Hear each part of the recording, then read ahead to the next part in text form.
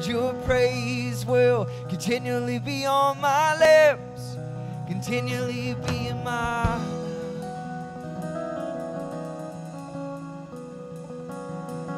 Your praise will continually be on my lips, continually be in my mouth.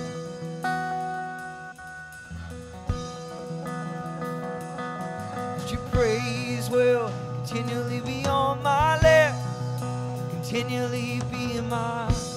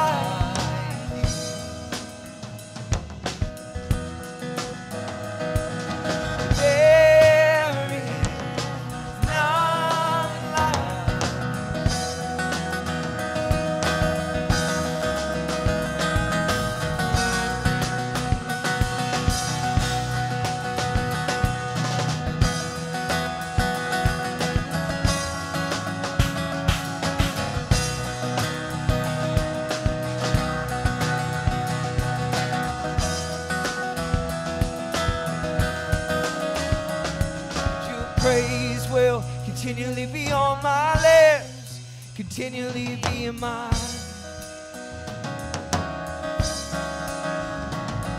Your praise will continually be on my lips, continually be on my lips.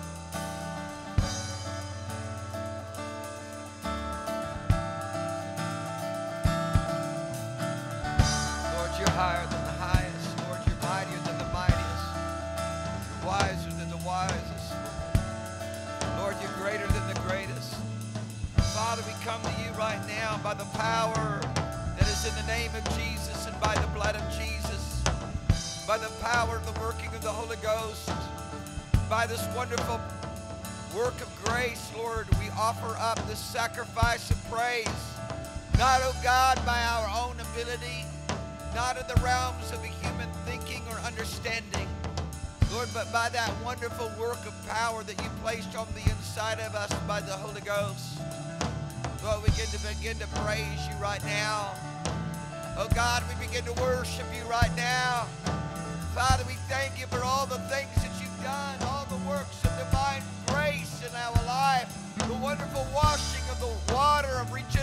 Lord, the renewing of the Holy Spirit, the washing of the blood of Jesus, the new creation.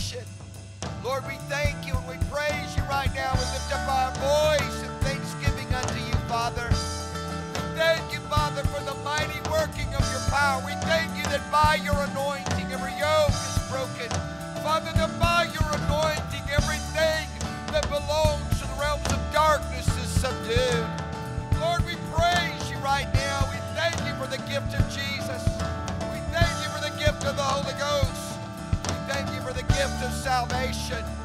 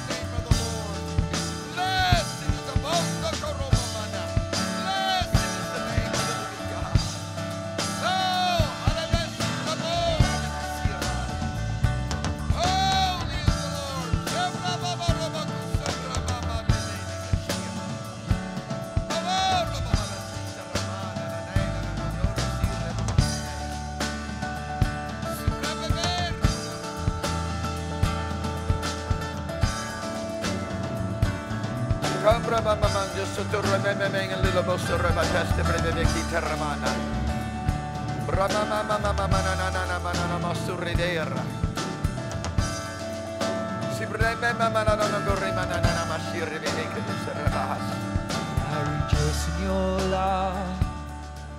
I rest in your.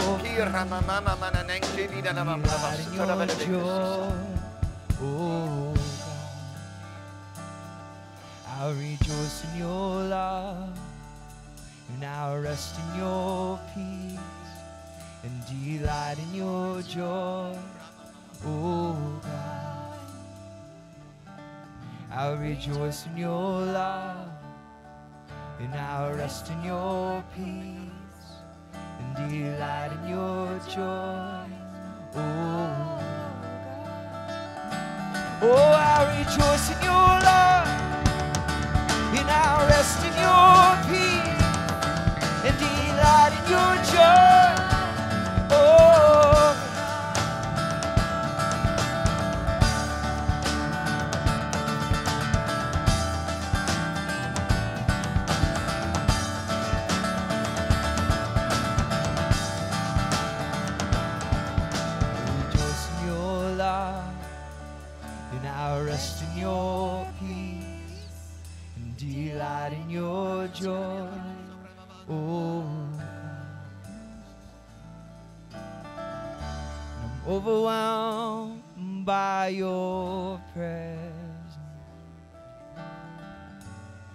Overwhelmed by your presence. But I'm overwhelmed by your presence. Overwhelmed by your presence. Shall rejoice in your love, and I'll rest in your peace, and delight in your joy.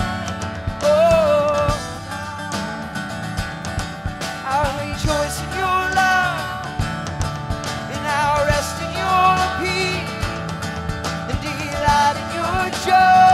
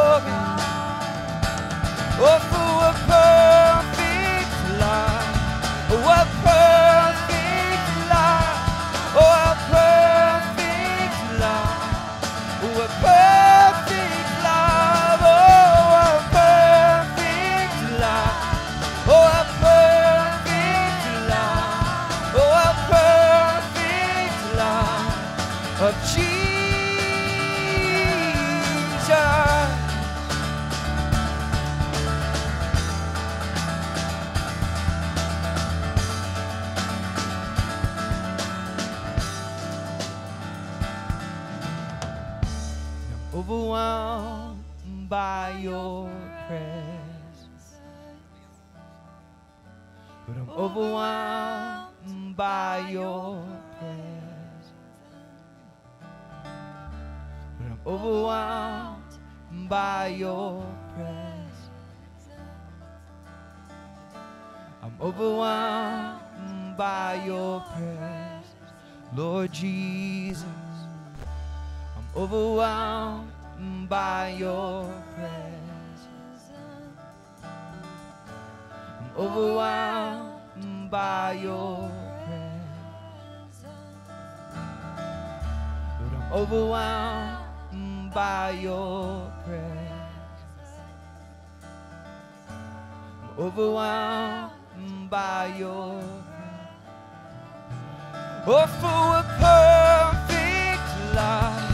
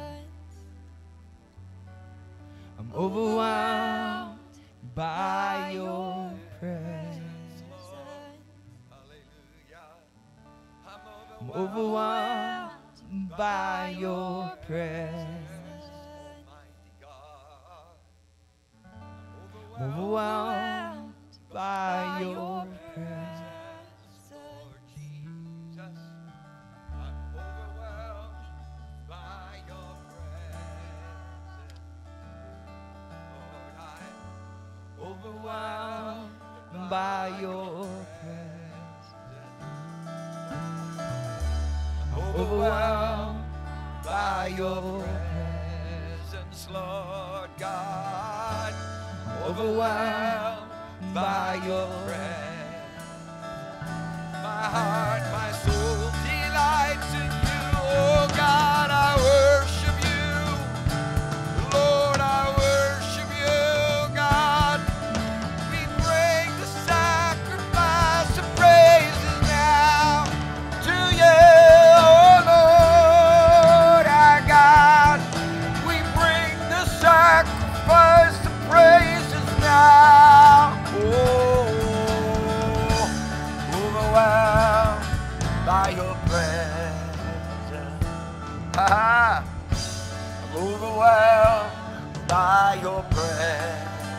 presence. I'm delighted now. I delight in your presence, Lord. I delight in your presence. Your presence is life to me. Your presence is glory. Your presence is joy unspeakable. Your presence Your presence delight to me. Your presence is joy unspeakable. Oh God, overwhelmed by your presence. Overwhelmed by your presence,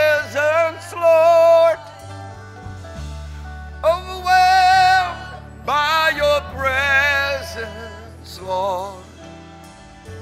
I'm overwhelmed by your presence. Your presence, Lord, is a delight to me. oh God, your presence, Lord, it is life to me. Your presence, Lord, is joy unspeakable. In your presence is pleasures forevermore.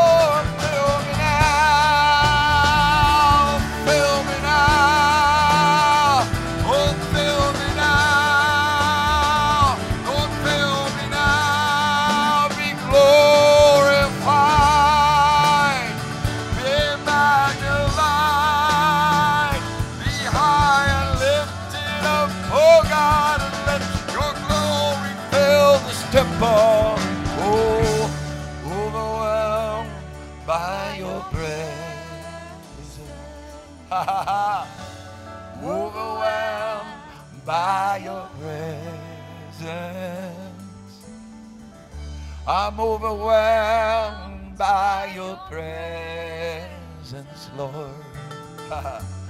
overwhelmed by your presence. Your presence, God, is a delight to me. Oh, your presence, God, it is life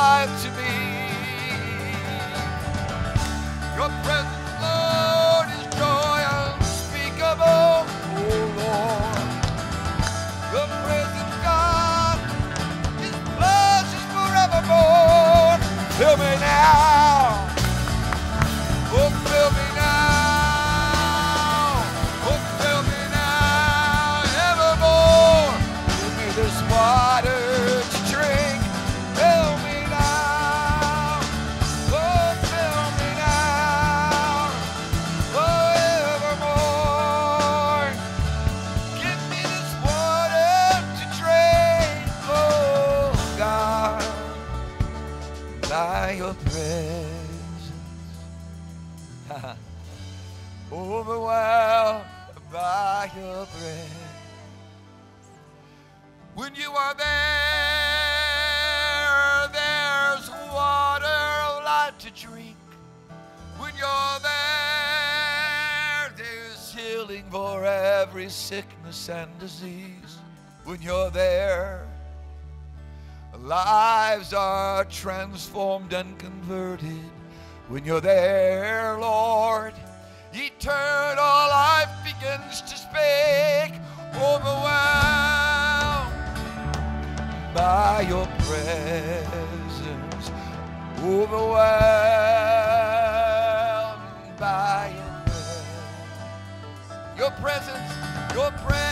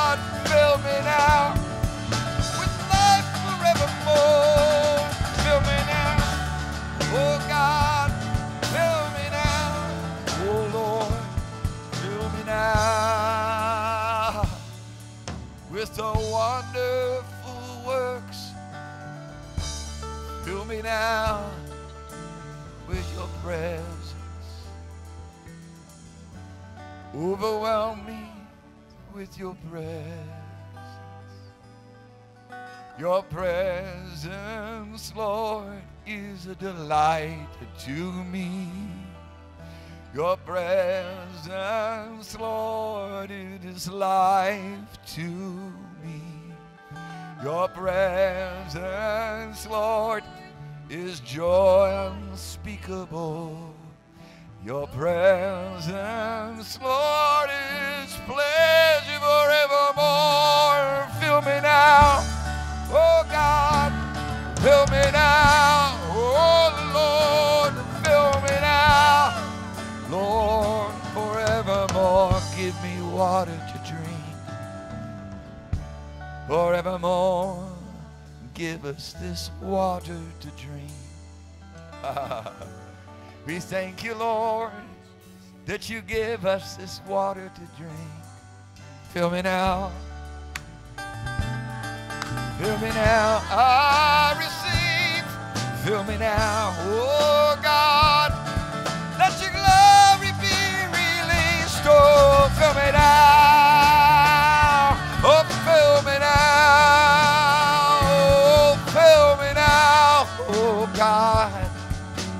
Life forevermore. Be filled with the Spirit. Speak to yourself in psalms and hymns and spiritual songs. Singing, singing on now, singing, singing to him now. With praise and thanksgiving. Being filled with the Holy Ghost and power. Being filled, be filled, being filled, be filled. Oh God, we receive this wonderful work right now. Holy is the Lord. Hallelujah. Holy is the Lord. You are high and lifted up. And if you be lifted up, you draw all men and you draw me now. You draw all men and you draw me now. Overwhelmed by your presence. Hallelujah. Let me hear you just sing for a little bit. Let me hear you worship this. In the spirit and in truth. Ah,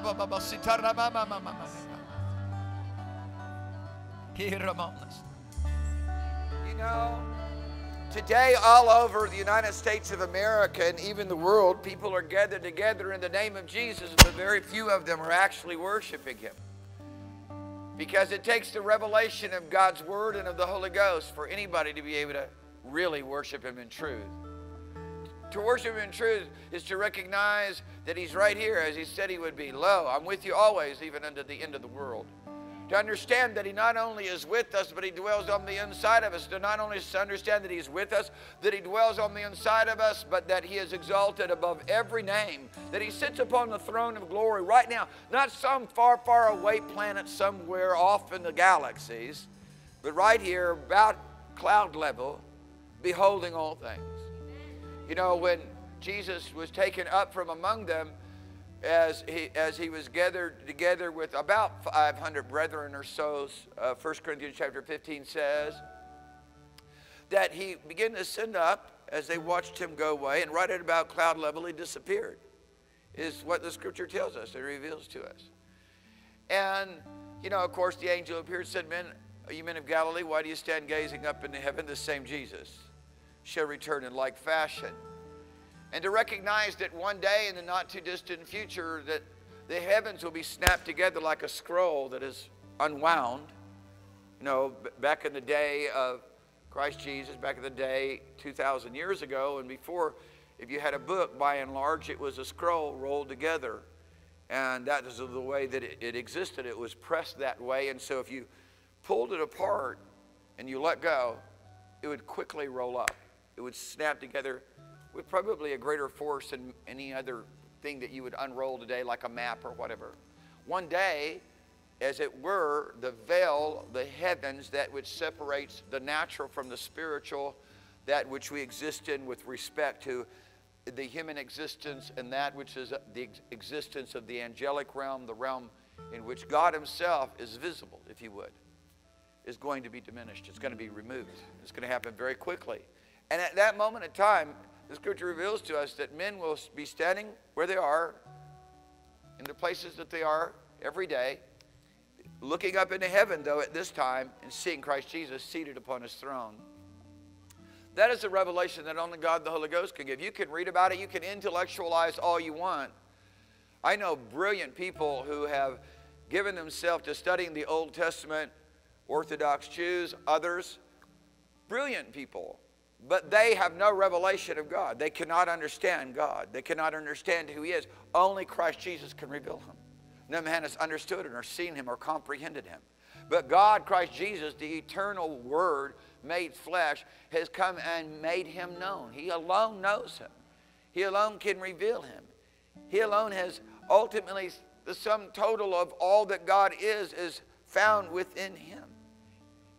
He is the fullness of the power of God made manifest. Father purposed it that way. Hallelujah. Now you can't you can't know that intellectually. But if you would allow God the Holy Spirit to come and minister to you, you can begin to worship him in spirit by the Holy Ghost in other words. You can't worship God. People think that they can worship God out of the framework of a human reference out of the same realm in which they think through their daily issues, in which they creatively process all of the rest of their interface with the world around them. But that doesn't work within the framework of that which belongs to God. He's spirit, and those who worship him must worship him in spirit. There is no interaction with God in a natural framework. The natural mind cannot even begin to relate to God in any way. It's a very difficult thing for people to wrap their heads around. But today you can wrap your heart around the reality of it. Today you can wrap your heart around this. Today, God the Holy Ghost will give you revelation, give you insight, give you wisdom so you can begin to see. And if you don't have this, what you have to be willing to do is you got to be willing to humble yourself. You got to say, Lord, you got to listen. People, I think that one of the great revelations is for when people come to realize, wait a minute, I'm not connecting with God. I'm, I'm connected, I'm trapped, I'm overwhelmed by the circumstances and the situations that are around me. I'm, in, I'm that has my full attention. Because if you begin to understand or discern the difference between connecting with the environment that imposes itself upon you, a culture, a world in which the God of this world rules and reigns in, if you, if you can begin to discern the difference between that and connecting with God, you have the first step of wisdom to be able to say, wait a minute, I need some help here. I'm going to look beyond myself. I'm going to look beyond that which the human ability can give to me and prescribe for me and, and solve for me. And I'm going to move over here into this place where I say, God, I want you to help me. I want you to intervene in my life. It's just real simple stuff. I want you to now come and overwhelm me. I want you to cause my heart to trust in you. I want to be able to know and, and realize beyond just an intellectual realm that you are right here, that you not only are with me and in me, but you are exalted right now in a place far above all powers. Listen to me, far above all dominion, far above everything else that, that imposes itself upon me. And you're not some far, far away God on a distant planet. You're right here. Seeing and beholding, right about cloud level, once again. You know, the scripture tells us, and, the, and when, when we read this word, these words in, in John chapter 1, verse 17, 18, 19, that Jesus is the one who came to manifest the Father, reveal the Father. Literally, the Greek word is where we find the whole concept of exegesis. He came to exegete he came to exegete the Father. He came to make him known, to break him down, to bring the context, to bring the revelation, to bring the insight, to bring the interpretation.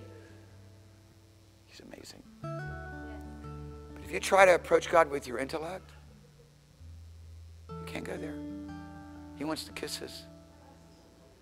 If you just go, if you're going to invite him into your house today, like Simon the Pharisee did, you're intrigued by him. He certainly someone with the power of God, certainly in many points of reference, a great prophet. Some even considered him the Messiah. But who Christ Jesus is, the definition of Messiah cannot even touch it. Can't even touch it. He's God Almighty. He's the Alpha and the Omega. He's the beginning and the end. He's the one who was and is and the one who is to come. The Almighty. That's who He is. That's far beyond any definition of the Messiah. The concept of the Messiah, just as the son of David, is just a small fraction. He's also Zechariah chapter 6 temple builder. He's the temple builder. He's the priest who's now crowned as the royal supreme ruler. Concept unknown to the Leviticus uh, doctrines or the Deuteronomy code. He's the sum total of every solution to every problem and every description and revelation of who God is and why He did it and how He did it. He's the Logos, in other words. He's that which is unimaginable, the sum total of that unification principle within the Greek mind he is the logos, the sum total, the definition, the declaration, the proclamation. He's everything. All of a sudden distilled down into a human frame. He's amazing. And he's here. And God, the Holy Spirit, wants to give you a revelation that he's here. And that you and I get to interact with him and that we get to come and worship him. And if we're willing to receive that revelation, suddenly all this other stuff about singing songs and all the other complexity of supposed liturgy that uh, will cause us to approach unto God is, is removed out of the way. It dissolves, it disappears. And you're standing there before Him, before the living God. You get to come and approach unto Him. You get to step into the holies of holies by the blood with all boldness, with all confidence, with all expectation. All the boring nonsense of religion no longer exists. You caught away in the Spirit. Jesus tells a woman, and, and, the qualifications of this is anyone who will believe, because when Jesus begins to describe this for the first time, he's talking to a woman who had been married five times and was living with a man who was not her husband. She was completely and totally disqualified. He's not even, according to the concepts of, of Haredi uh, isms, uh, the concept of consecration, which Pharisee actually means it's the separated ones or consecrated ones. If you go back to try to understand what, who Jesus is through them, you're going to miss him altogether because they missed him altogether. And I watch today as so many people want to take Phariseeism, Haredeism, and mix it with the new covenant and think that they can understand who Christ Jesus is. I tell you right now, they missed him then and they'll mislead you now. Watch out. Listen, only the Holy Spirit can come and reveal him. And here's what Jesus said to the woman at the well He said, Listen, when she was all confused, how is it that you can be talking to me, a Jew? I'm a, I'm a Samaritan. I'm a Gentile. How is it can you be talking to me? And then, furthermore, there's another layer. He's not just anyone. He's now a rabbi, and he's not just any rabbi. He's, he's God manifested in the flesh. How is, it, how is it that you're talking to me? He said, I got to get for you. You've got to recognize who I am. Today, God the Holy Spirit is here to help you to recognize who Jesus is. Not Jesus 2,000 years ago, not just historical Jesus, but present Jesus. Jesus who's here right now. Not some kind of icon. Once again, iconism has stolen the reality of relationship. Religion stole relationship. And people try to be one thing in church and another thing out there. They try to live a, dualist, a dualistic life. In fact, it, it, it gets worse than that. But I'm not interested in expressing and explaining all that. I'm just here as an ambassador of Christ Jesus saying, God the Holy Ghost wants to empower you, but the first thing you've got to do is recognize Him. First thing you've got to do is recognize wait a minute. I can't come to God and worship Him on my own. He does not receive the praises of men. No man is acceptable unto Him. Oh, but if I can grab a hold of this wonderful work of grace and find myself right now in Him and Him in me, this is the faith. If I can now give myself over in this place and state now made acceptable and holy by Him, I can yield to the Holy Spirit.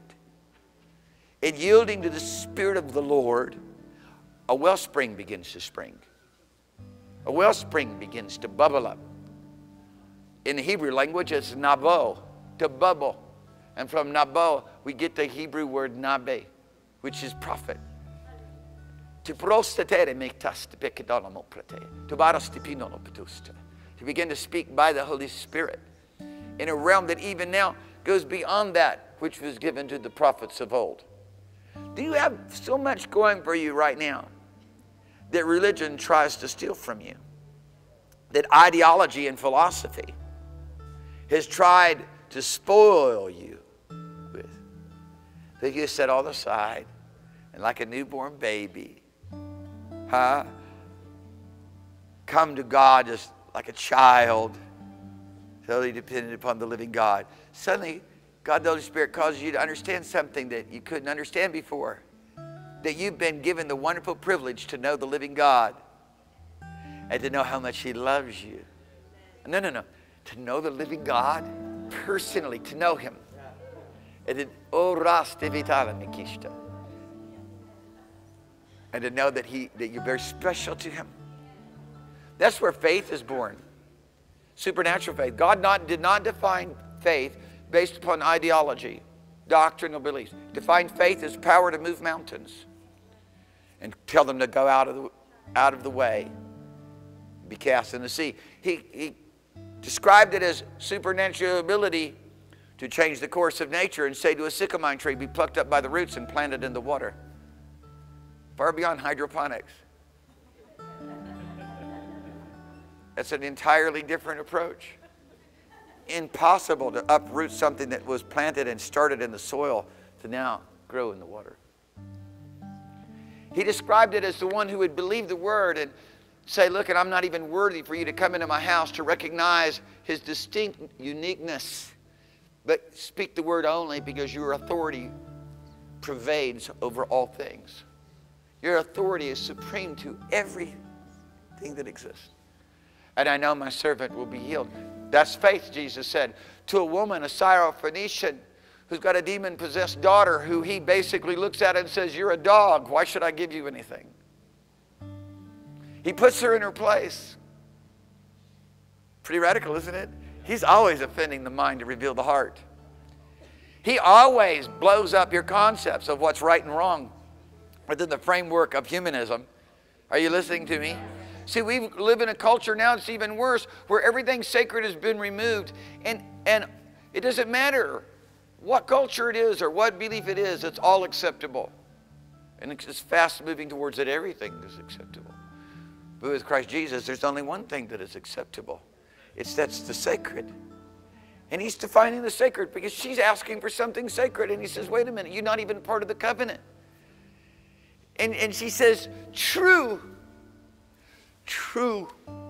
But the dogs, such as myself, can survive off the crumbs that fall from the master's table. He says, Woman, woman. See, if, if we could just get today that healing is the children's bread, because that's what we're talking about. Many of God's people don't know God enough to even, even get healed. And it's, the, it's daily bread. We say, we say, give us this day our daily bread, and we're just thinking about food. We don't understand the scriptural context of what daily bread is. It's provision for my physical needs, for my spiritual need, for my every need. It's divine protection, it's divine perfection. It's divine provision. God is amazing. No, no, no. If you just will let the Holy Spirit open up your eyes and give you the spirit of wisdom and revelation, the knowledge of Him, everything will change. You'll be like the servant of Elisha who is sitting standing there going in the context of look, the whole Syrian army is coming out against us. There's no way we're going to survive this day. And, this, and the prophet of the Lord says, Open up his eyes so he can see what I see. Give him the spirit of wisdom and revelation. Suddenly, whoa, there's a whole lot going on around here that I was not able to perceive before that did not enter into my consideration about how things are going to turn out for us suddenly saw that the glory of the Lord does fill all of the earth. Somebody looks around and they say, Look at all the war, and look at all the famine, and look at all of the evil, and look at all of the wrongdoings, and look at all of the iniquity. How can, God, how can it be said that His glory fills the earth? You haven't got the spirit of wisdom and revelation yet. Your eyes haven't been opened yet to recognize that there are two parallel spiritual realms functioning. You're trapped in one, God wants to deliver you out of it and bring you into the other. It's a place where the angel of the Lord and the horsemen thereof. And all of a sudden you recognize what there's more with us than are with them. We have more certainty. I have more certainty. Somebody said the doctor said. I say the doctor is not God and what he declared was not written. Amen. What God said in his word, however, no, no, no, no, people, oh, come on now. I know you're a little weak, amen, so that's okay. and just is staring at me, wondering if it fits into the framework of your theology. But Jesus is a sum total revelation, and declaration, proclamation of who God is, the description of His will and what He wants to do. And we can see in Him that He's the Savior, that He's the healer, that He's the provider, that He's the perfecter, that He loves us so dearly. And I tell you right now, you stay around the shepherd, and I, you'll, I, listen, you know, I, I'm, I'm, I've got pastoral ministries on every level. Not only with people spiritually, but also with animals. And if you're around cattle, and if you're around sheep, especially the young cattle, and they and you feed them and you're tending to them and you're taking care of them, they will go anywhere you go. They'll do whatever you they'll come they'll come to your voice. They'll they'll respond to you where the rodeo guys are out there with their spurs and their whips and they're running the cows out of the bush because they're just wild animals. They have no leader. All that, all that a shepherd has to do is lift up his voice and say, Come, cattle! They know his voice. And they'll come. Come, cattle! And they have to go run them down with a horse. Don't have to go rope them, tackle them. His sheep hear his voice. Goats, I don't care how much you shepherd them, they're not going to listen to you. They will not listen to you. They will go their own way. They've got their own ideas. They've got their own concepts. I mean, come on. All you can do is take a stick to them. I promise you. I promise you. This guy, You can rule them with a stick, especially the billies. The billies are going to come at you right, left, and center. You pick up a stick, they'll go do their own thing. But we as sheep, if we'll just stay around him, just stay around him. We hear his voice, the voice of another we will not hear. Talk about everybody coming to an agreement. Yes. Huh? Yes. My goodness, if we would just camp around this place of His presence, just being continually overwhelmed with His presence. For me, the contrast is this if I'm not overwhelmed with His presence, I'm out of sorts. I'm listening to the wrong thing, being influenced the wrong th- by the wrong things. I'm going to come back. I'm going to immediately stop, say, wait a minute, I'm, I'm on the wrong path here. I'm on the wrong trail. This is, a, this is a pathway of destruction. This is a pathway uh, that's not going to work out for me. There, this is going to be problems of my own making. Not blame it on God. It's my own making. Stop. Yes. Holy Spirit, come fill me now. Yes. Holy Spirit, come help me now.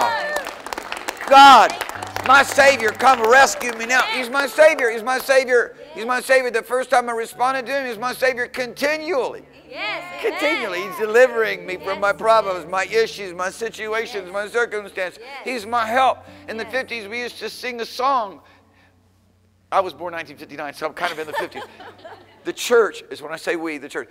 In the 50s, we, the church, used to sing a song. I'm old, but I'm not that old. Praise God. I'm getting to be the old guy. Lord Jesus, help me. Somebody asked me the other day, you know, do I want a senior's discount? I said, no, I don't want a senior's discount. I want nothing to do with a senior's discount. Why are you even asking me that? My wife said, did you ask him how much it was? I said, I don't care if it was free. I'm not accepting that. I don't care if it's free.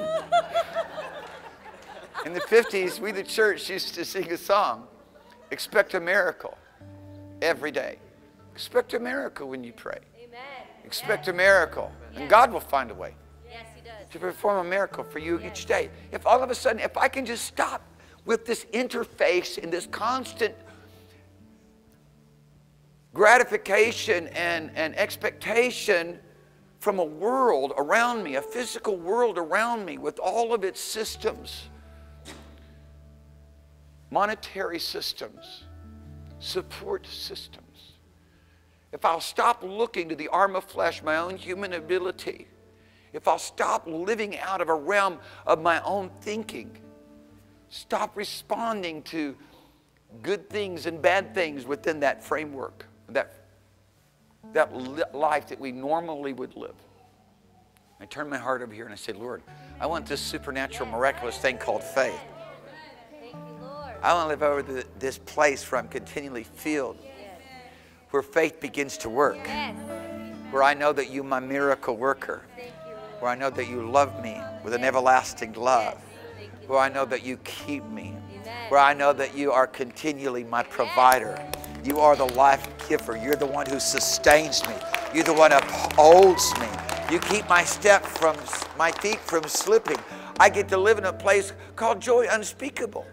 Do you think that that should be enough of a contrast for us to recognize, uh-oh, something's messed up here? It should be enough of contrast. It's like light and darkness. I'm over here sad and sorrowful. The Lord said for me, I've got joy unspeakable and full of glory for you. There's in my presence pleasures forevermore. And I'm over here frustrated. Shouldn't I be enough contrast to recognize I'm not being led of the Holy Ghost? Yes. I'm not cooperating with the Spirit of truth. I'm not giving myself over, yielding myself to this wonderful relationship. Maybe I'm off in religion and I expect that I'm going to have these problems. I'm not expecting any problems. I'm expecting solutions. Yes. I'm not expecting a deficit. I'm expecting a surplus. Amen. Why? Because He's my provider. I have no lack. Yes. The Lord is my shepherd. I shall not lack. What do you believe? Is it orthodoxy or is it orthopraxy? Is it a living, practical revelation that this is what I have for you and you will have it if you're listening to me? And if you don't have it, it's because you're not listening to me. Somebody said, Oh, I want to be able to listen. What do I need to do? Worship. Worship. How difficult can that be? He wants the kisses. He wants you to, he's, he's, he's screaming out from heaven saying, I love you, I love you, I love you, I love you. And he wants you to tell him back, I love you too. That's called worship. that is a response to a spiritual revelation, an unveiling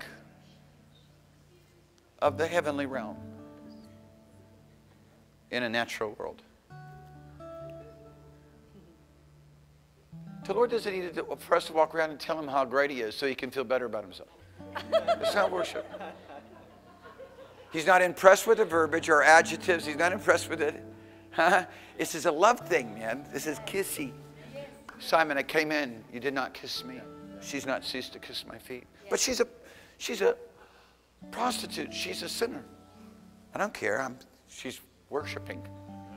I love her so much. You can't even imagine how much I love her. And all she's doing, she's had a revelation of my love, and she's returning it. She's responding to it, and she's kissing me, and she's and she's so overwhelmed by how much she's getting touch with how overwhelmed I am in love for her. Yes. That she's being overwhelmed in love for me, Yes. and she's weeping and wash, and those tears are pouring out of her being and washing my feet. And her hair that is, and you, I know how women feel about their hair for the most part. Okay? And she's, and her hair is just, it's just, it's just a towel. It's just a, it's a handy towel to collect all the dirt and the runoff of my feet. She's overwhelmed Yes. with my presence.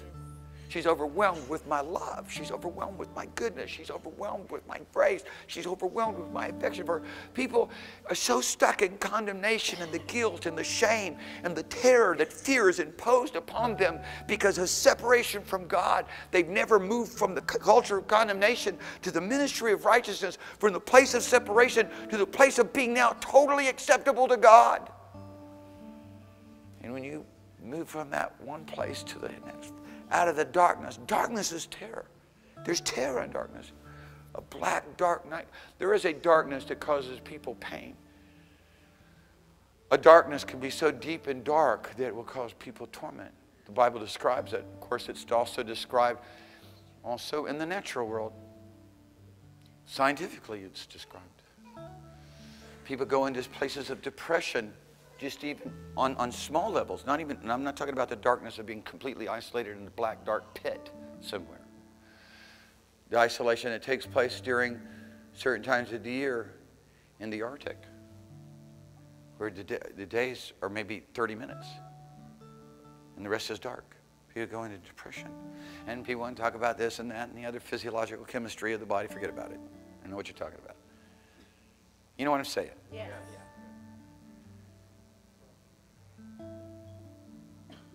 But when you step out of that darkness into the light, come on. Thank you, Jesus. And then we get to start understanding a rest in the light. Such a rest in the light that you don't even need sleep anymore. But we'll talk about that one later. Hallelujah. Hallelujah. God so loves us to know and believe the love that God has for us. God is love. He that dwells in this love dwells in God, and God dwells in him. What a place He's called us to. That's not religion. That's relationship. That's not some frustrated thing of trying to please God. That is a free gift of salvation that is being heaped and loaded down with all His benefits. Who?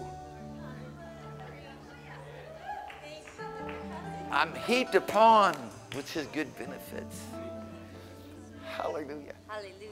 Have you ever, on Christmas Day, had anybody come and just bury you in Christmas presents? You just buried. You're standing up and you're buried in Christmas presents, and you're trying to work your way out of them to get the top of them, to start of them. Huh? Ah, that's what Papa's done for us. Yes. Wake up that way every morning. Every morning is Christmas. I wake up. I got like, I'm buried in a mountain of Christmas.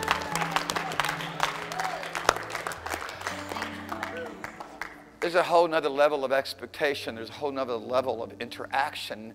Now it's not something that I have to do intellectually, a response ability as a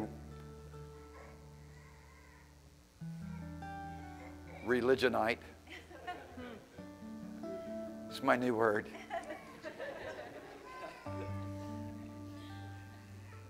but just a fellowship divine. Yes. With God who cannot lie, swearing by himself and promising that this is what he's going to do for me, and this is what he's going to do for you.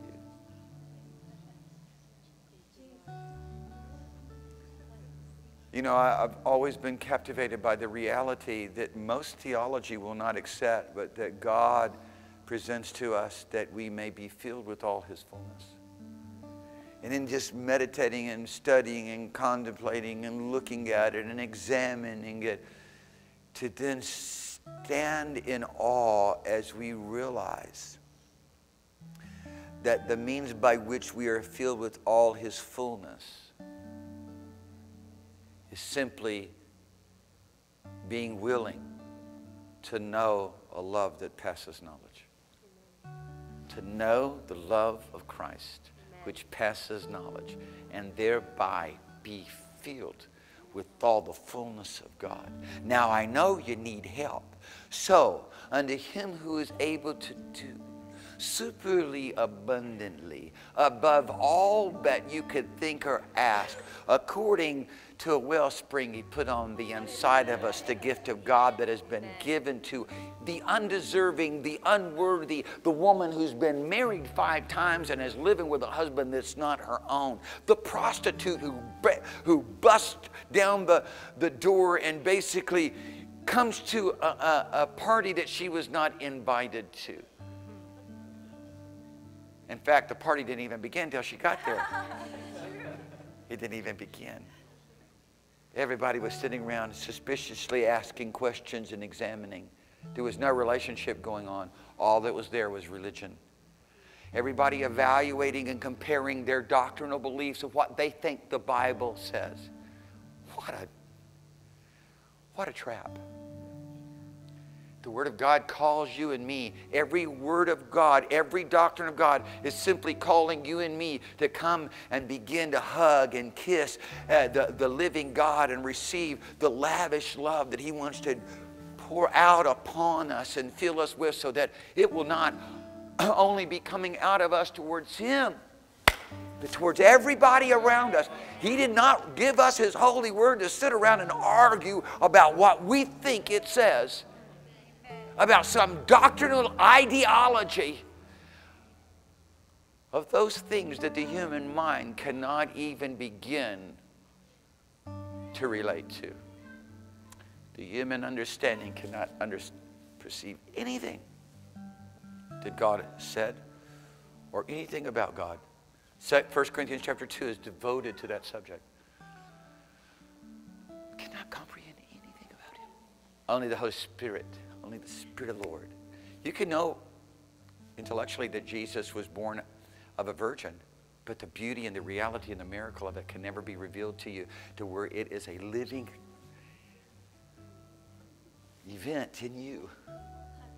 You, as, as you're witness to, as it were, until the Holy Spirit is allowed to come teach you.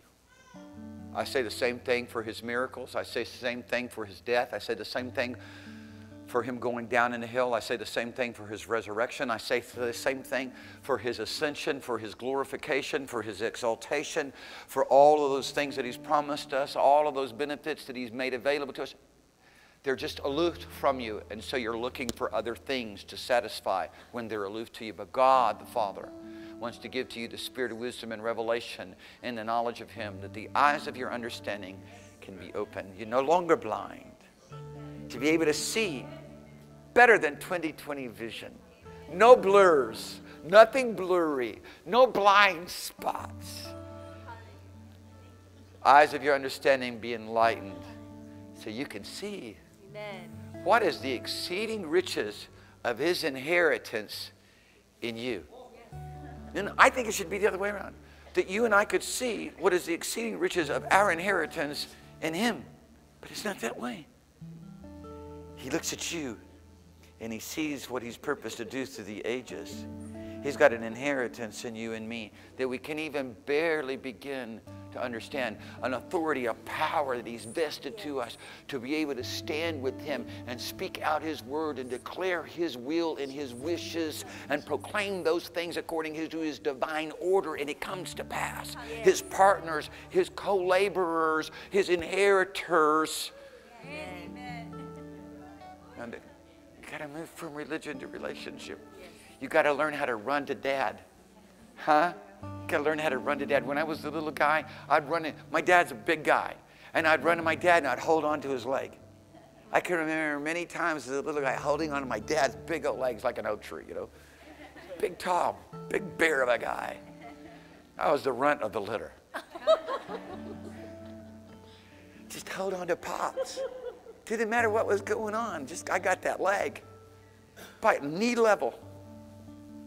As a four-year-old, five-year-old, six-year-old. Huh? You gotta learn how to do that with dad. Papa God. You gotta learn how to do that. You're not on your own. Unless you're still blinded by all of the lies and all the cultural things that have been imposed upon you, just taught you how to think wrong. Father's here to open up your eyes so that you can see that there's more with us than are with them. That you can see that Christ Jesus has been exalted for you, that He ever lives to make intercession, to pray special prayers for you and me. You can be seated. You can sit down. I, you know, I've tried to understand that. I'm trying to understand this right now. Lord, you value the value and the meaning of your life is to pray for me. Wow. I'm sure you got better things to be doing, more interesting, more pleasurable, more intriguing, more eventful, more exciting. He ever lives. The whole definition or the purpose of his life is to make intercession for the saints according to the will of God. What? To begin to just begin to think of just if I take one verse of scripture or one concept in the Bible and I stand and I look at just that one out of the thousands and the tens of thousands that are there, and actually there's more than that.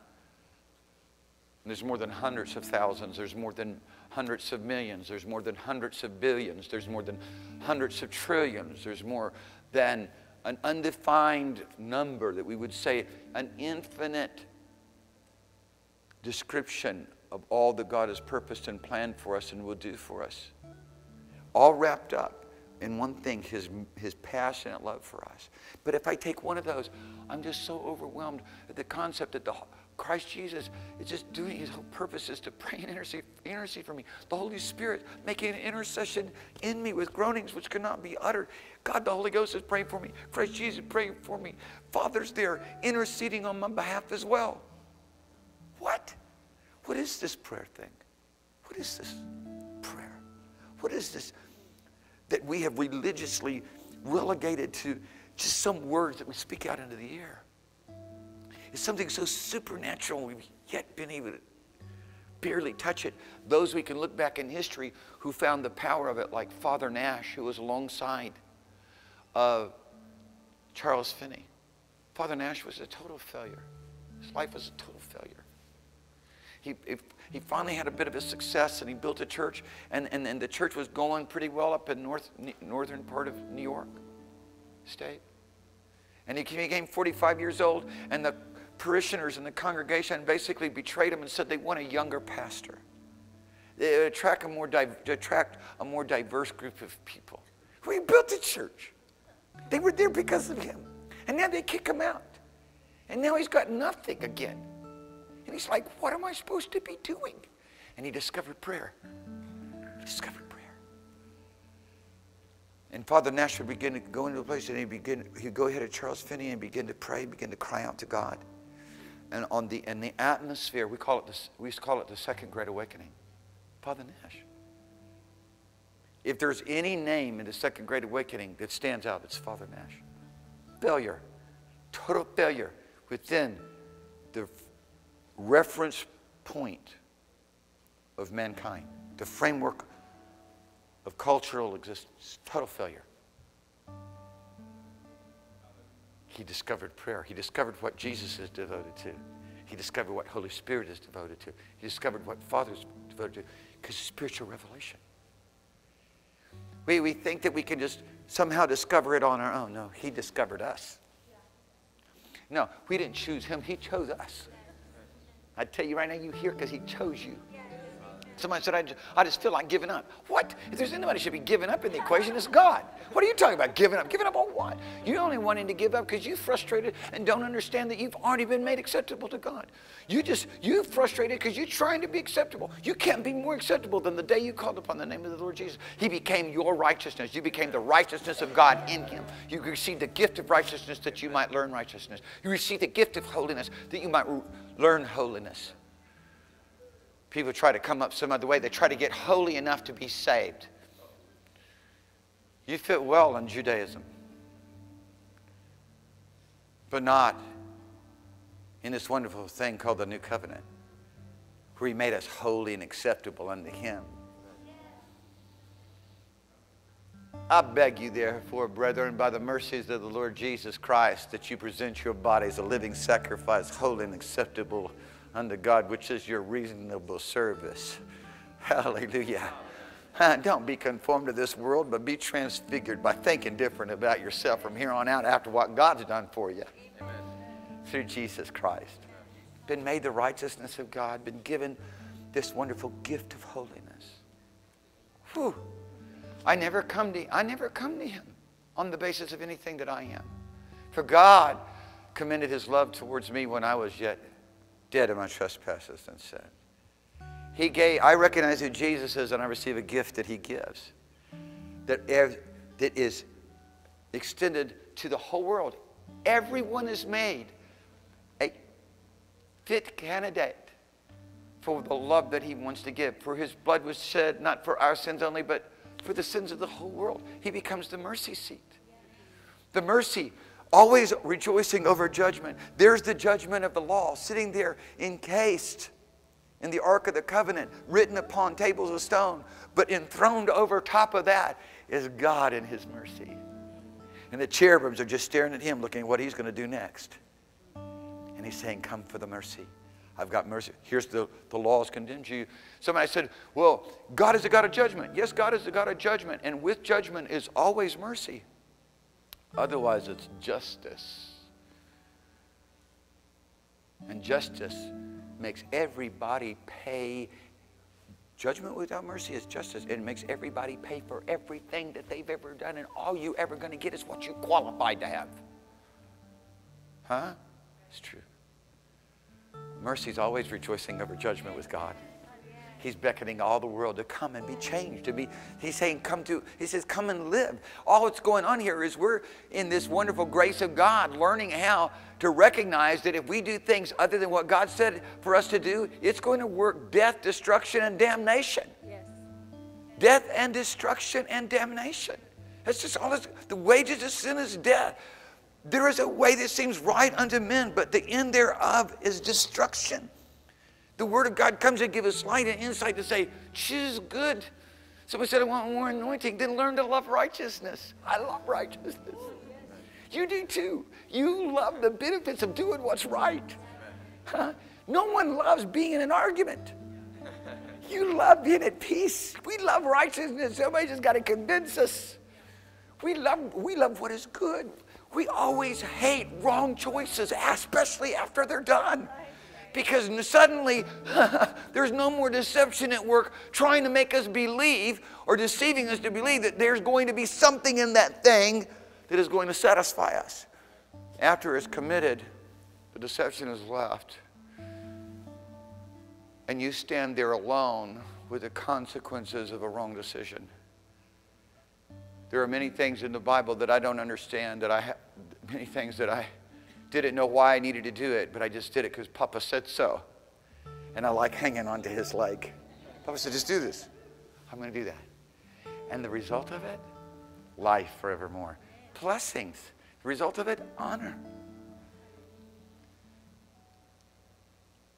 I want you to look at a verse of scripture with me in 1 Peter chapter 3, verse 18. And I want you to just think about this in the terms of we were not redeemed with corruptible things such as silver and gold. And I know I'm not quoting 1 Peter 3:18 right now. I'm quoting a previous verse. But just listen. Are you in 1 Peter 3:18? We were not redeemed with corruptible things such as silver and gold, but we were redeemed with the precious blood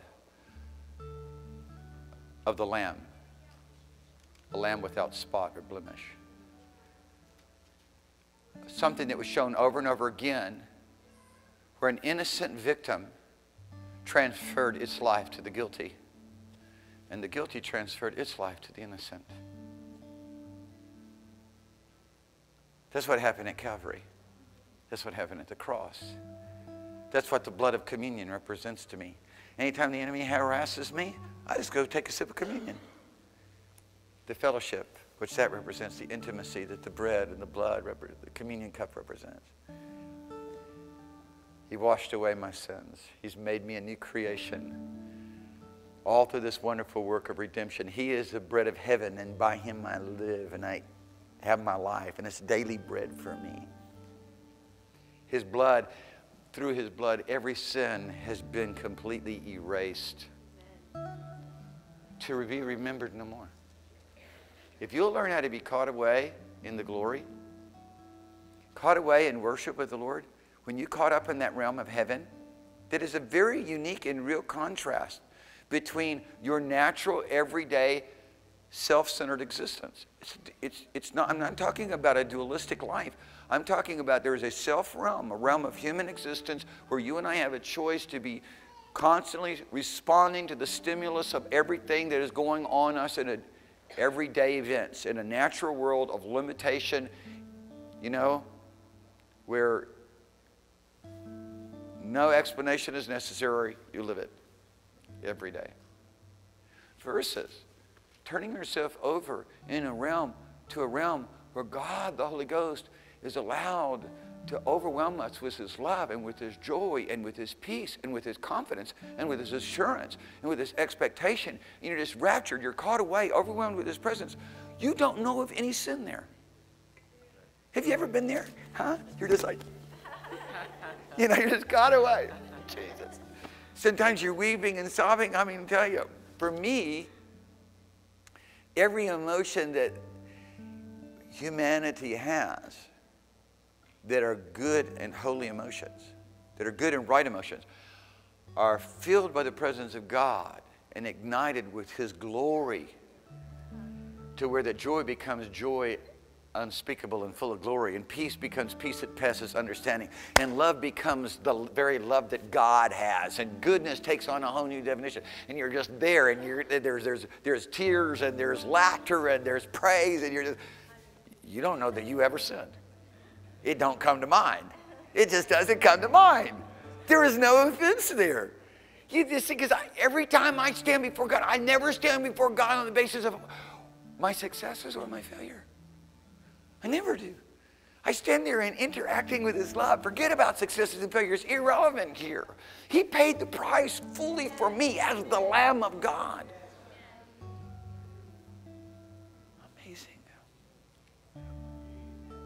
So there is no frustration there. You're never always, you're never trying to get better because you can never be better. And if through anything you think you're getting closer to God, you're trying to come up a different way. You've fallen from grace.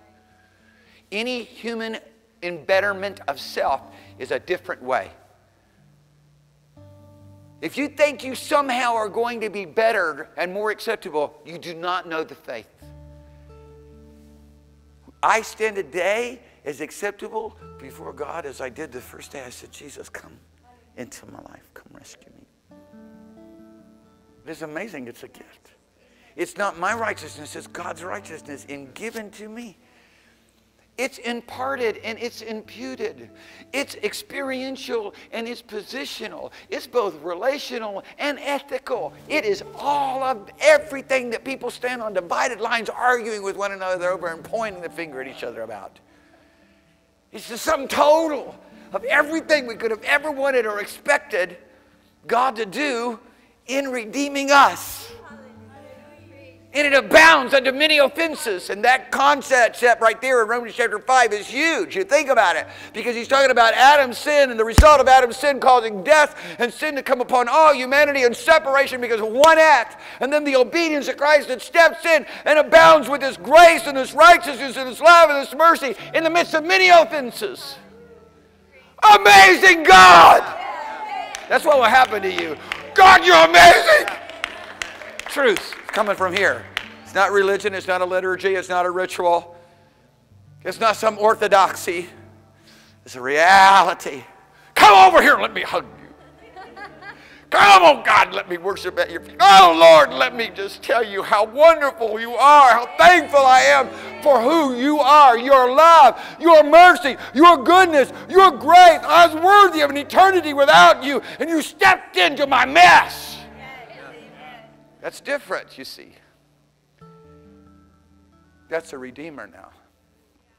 That's a redeemer. That's somebody who loves you, who's devoted to you. When everybody else walks away from you, he's standing with you. When everybody betrays you, he will not let you down. Nothing can separate you from us. Nothing can pluck you out of his hand. You can walk away, but he's going to make it hard because he's going to lash you with love, cord. He's going to lasso you with ropes of loving kindness and tender mercy. He's going to draw you with cords or ropes. Come over here. Come over here.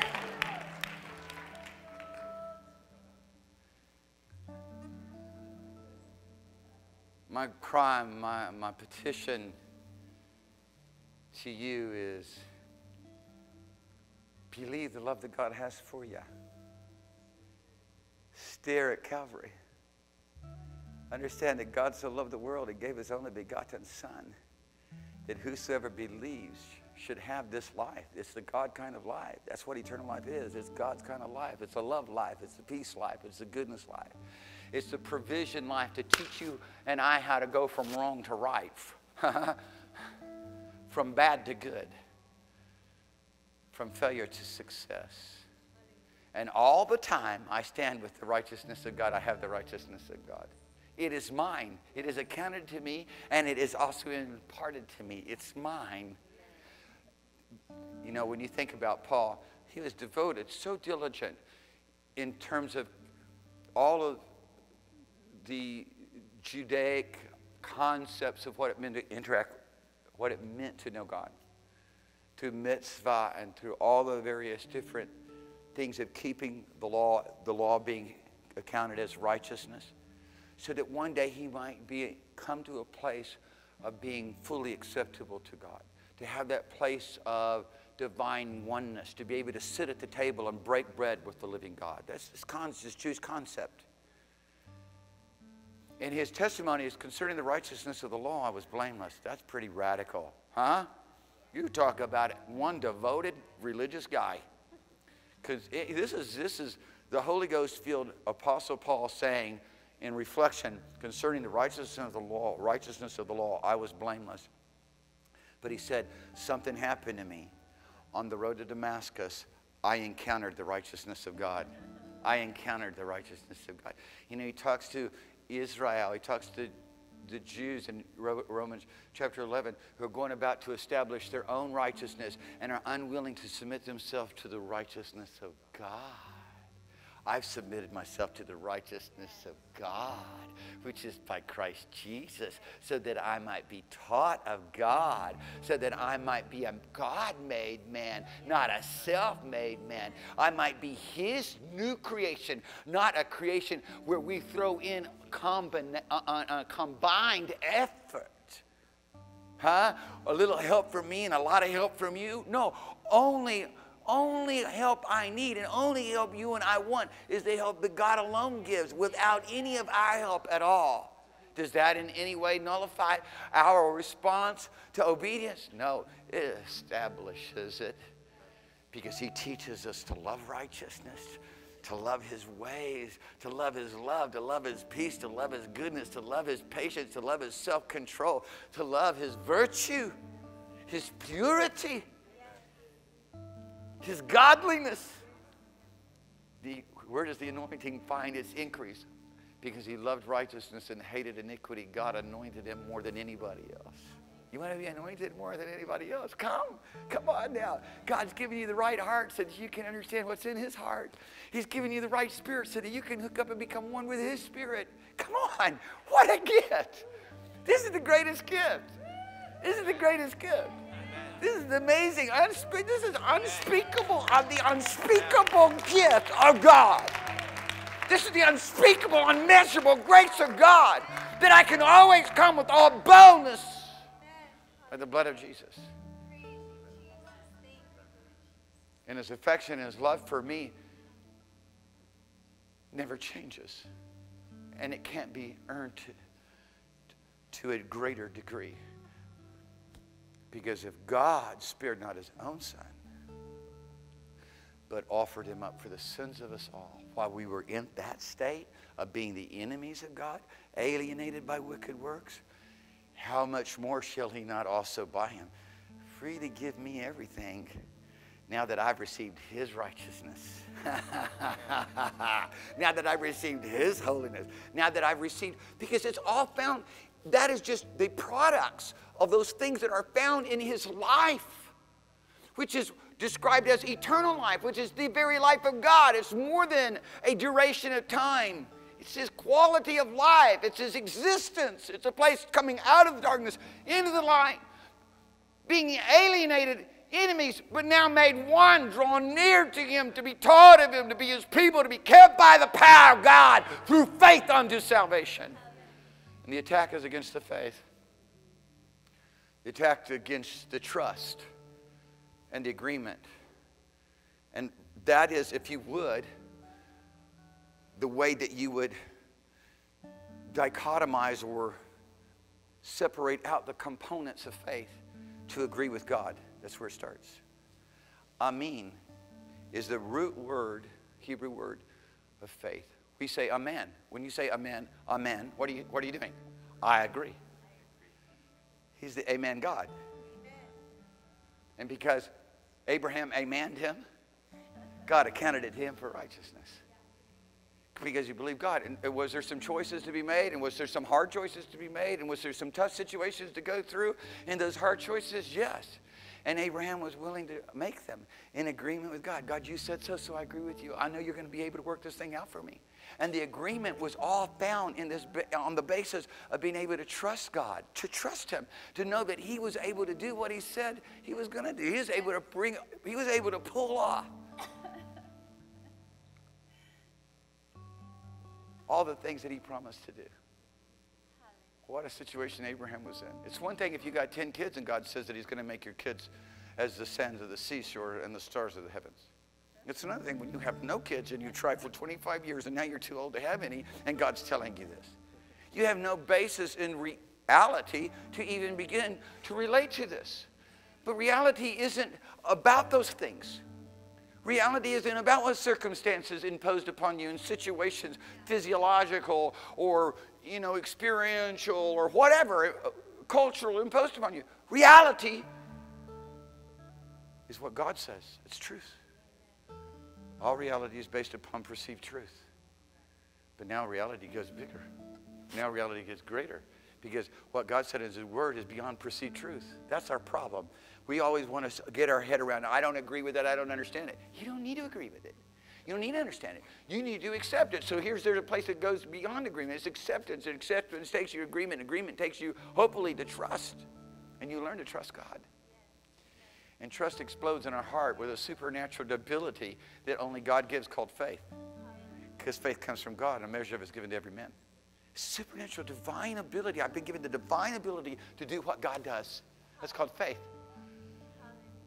To agree with Him, to trust Him, and to watch all these exploits take place, being delivered out of the mouth of a lion, to quench the violence of fire. They throw me in a fiery furnace that's seven times hotter because I won't bend about everybody else's riches. I'm not going to listen to what the culture imposes upon me. I'm going to do what God says to do. I see myself as a separated people, a chosen people. There is no distinction between any people. He's chosen all of us now. We are the chosen people.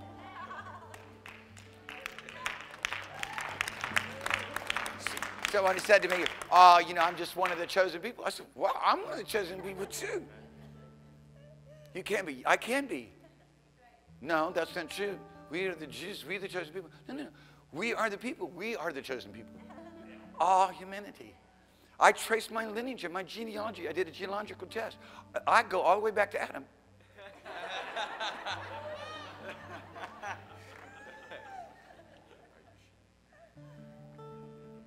we all fell in Adam. We all lost out our relationship with God in Adam. But we all succeeded in Christ Jesus. We all above that. and I'm not leaving. I'm not leaving. No matter how much evidence I can produce against myself and everybody around me can produce against myself, I'm listening to what God says because it's written in the book of truth. That's actually the phrase that Gabriel used to Daniel. What is written in Daniel chapter 10? It is written in the book of truth. What God is going to do, what He's stretched out, what He's planned. The way He's going to develop this thing and bring it to a place where a new heaven and a new earth dwells and no sin can exist in it, no rebellion, no treason, no hate, no murder, no stealing, no thieving, no lying, no iniquity, no broken relationships. Worst thing no criticism, no strife, no complaint, no evil speaking. Everybody just in love. I'm telling you right now, the eternity's in God. What Father has for us, if you try to imagine it, is so much better than what you imagine. You will look back on this life and say, that was such a pale and weak example of what it means to live. Look at that verse of scripture with me in 1 Peter chapter 3, verse 18.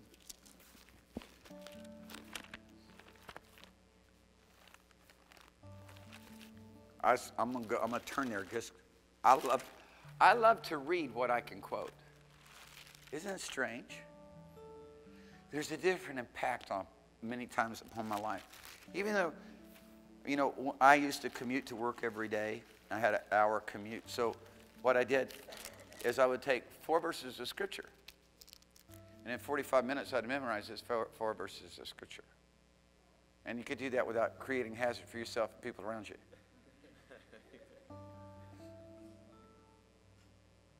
And it wasn't long that I had memorized a lot of the Bible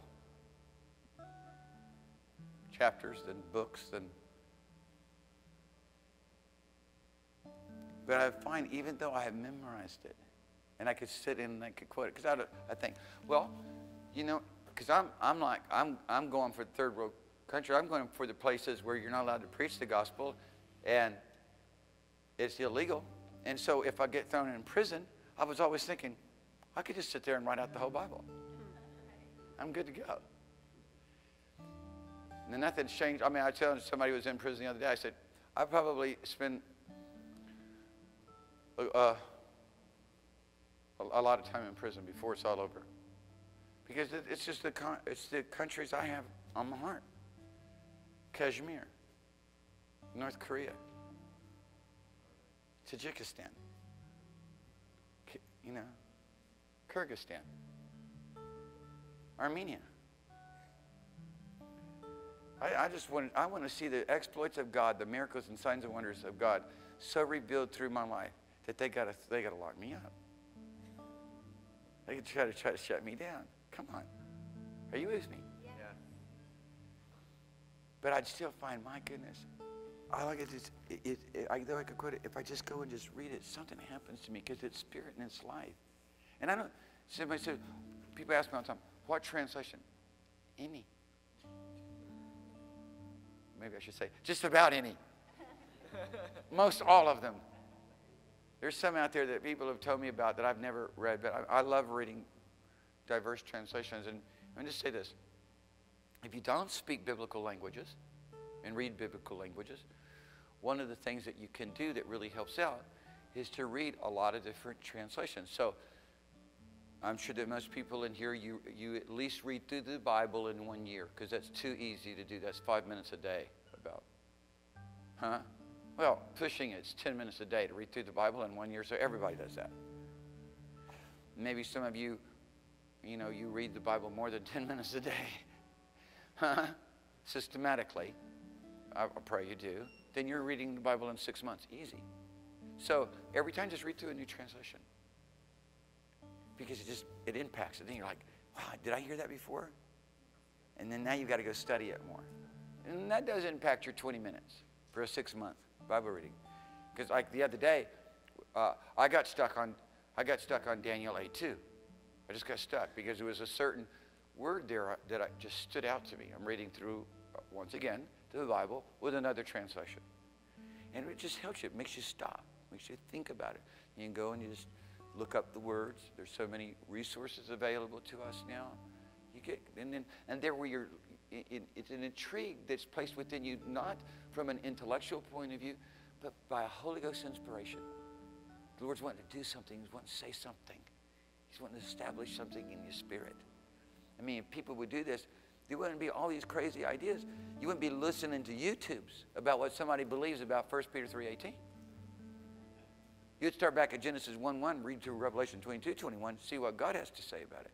Because, and then you would be corrected. You wouldn't believe all these doctrinal ideas because the Holy Ghost reach up and slap you with the Word of God and say, quit believing that.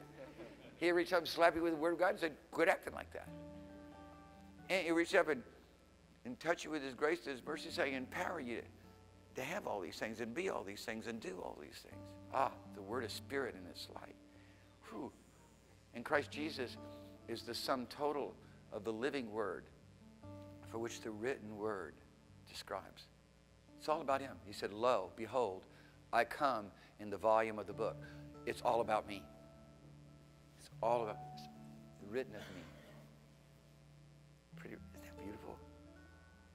That every time I get stuck with a verse of scripture I don't understand it, I just go look at Jesus.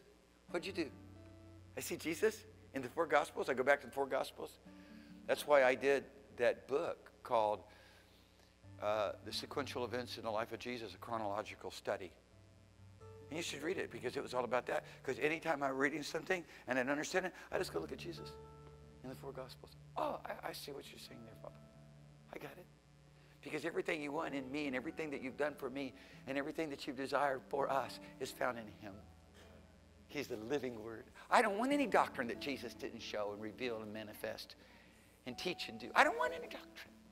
I'm not interested in the hypothesis of the Pharisees and the Sadducees and the Essenes or any other group of people. I want what Jesus. I want the doctrine which God teaches. Amen. Here it is. Thank you, Lord. 1 Peter 3:18. For Christ also hath once suffered for sins. Whew. The just for the unjust, the righteous for the unrighteous, that he might bring us to God.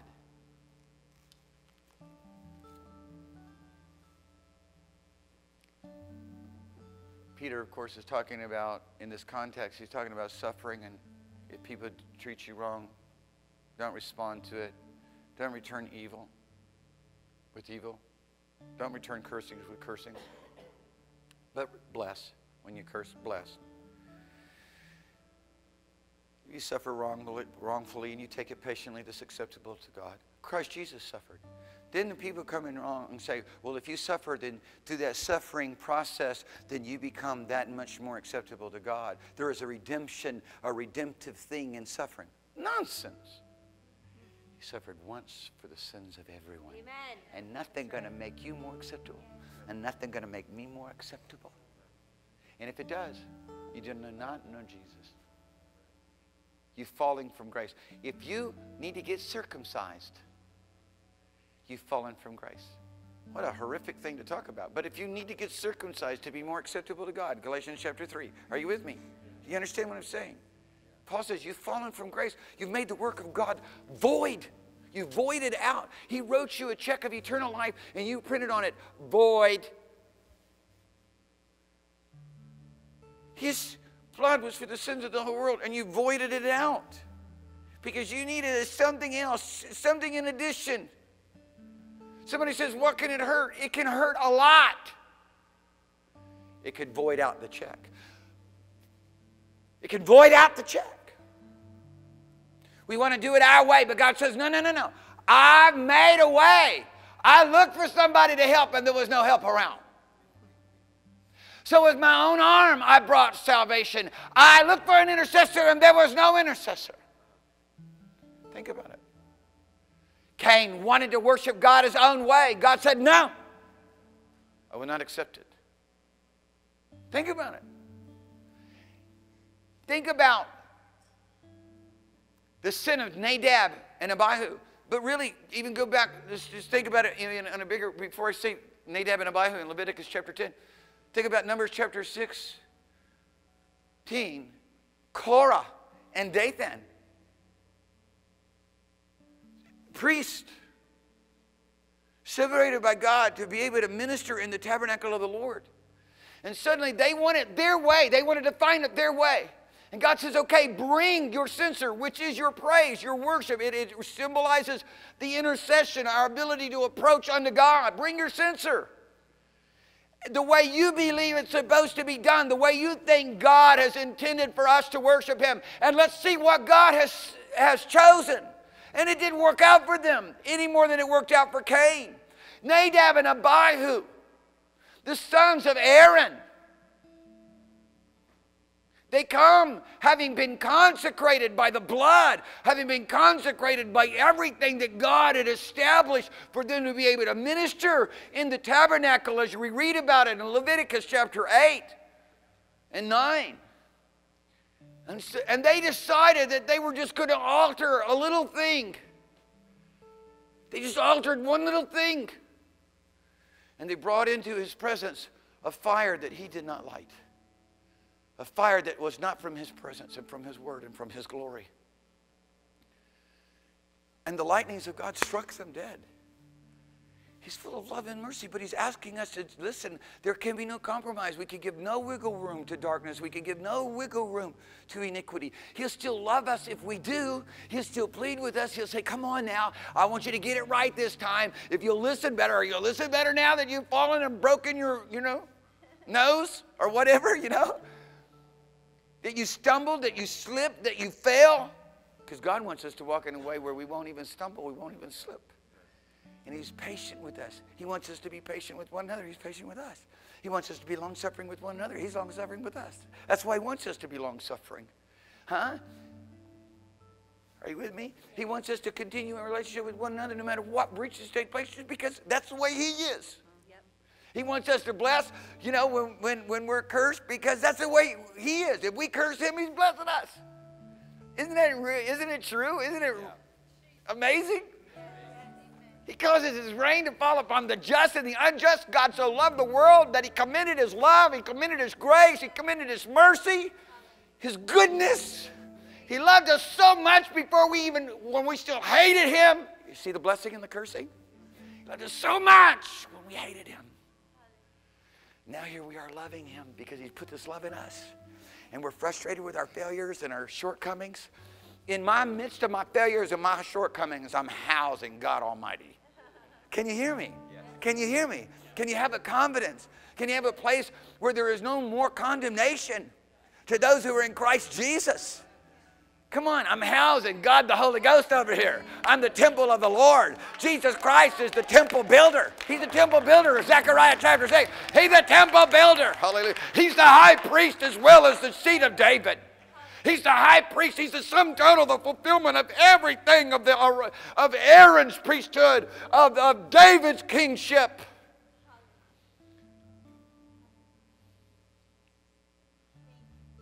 He's the sum total and his love is unfailing, undiminishing, and eternal. And what did God say to you? I could go on like this all day because this fills my heart. And I know you guys got things you got planned. And I'm trying to be sensitive to that, but it's hard. Because I've just learned the sensitivity to the Holy Ghost. And just kind of eclipses. Somebody said to me, Well, can't you be more sensitive to people's needs? I'm trying. I'm going to get to you right after I'm done with God the Holy Ghost. I'm, be sensitive to his need, and I believe he's sensitive to yours. I want you to grab this. I want you to grab this.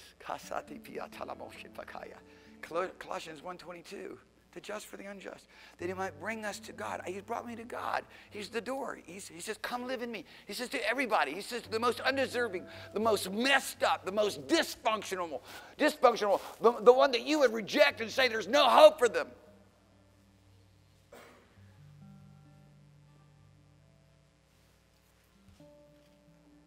He says, Come dwell with me. Come live in my house. John 15, come abide in me. Come live with me. He's amazing. What? Who? Me? You know, doing the Gideon thing. Are you talking to me? Yeah. You. You come be the branch, I'll be the vine. Papa be the husbandman. And I'll produce everything of my life in you. I'll be hid away as the vine lets you get all the glory. Because that's what the branch gets, the glory. You don't stare at the vine when the fruit's in.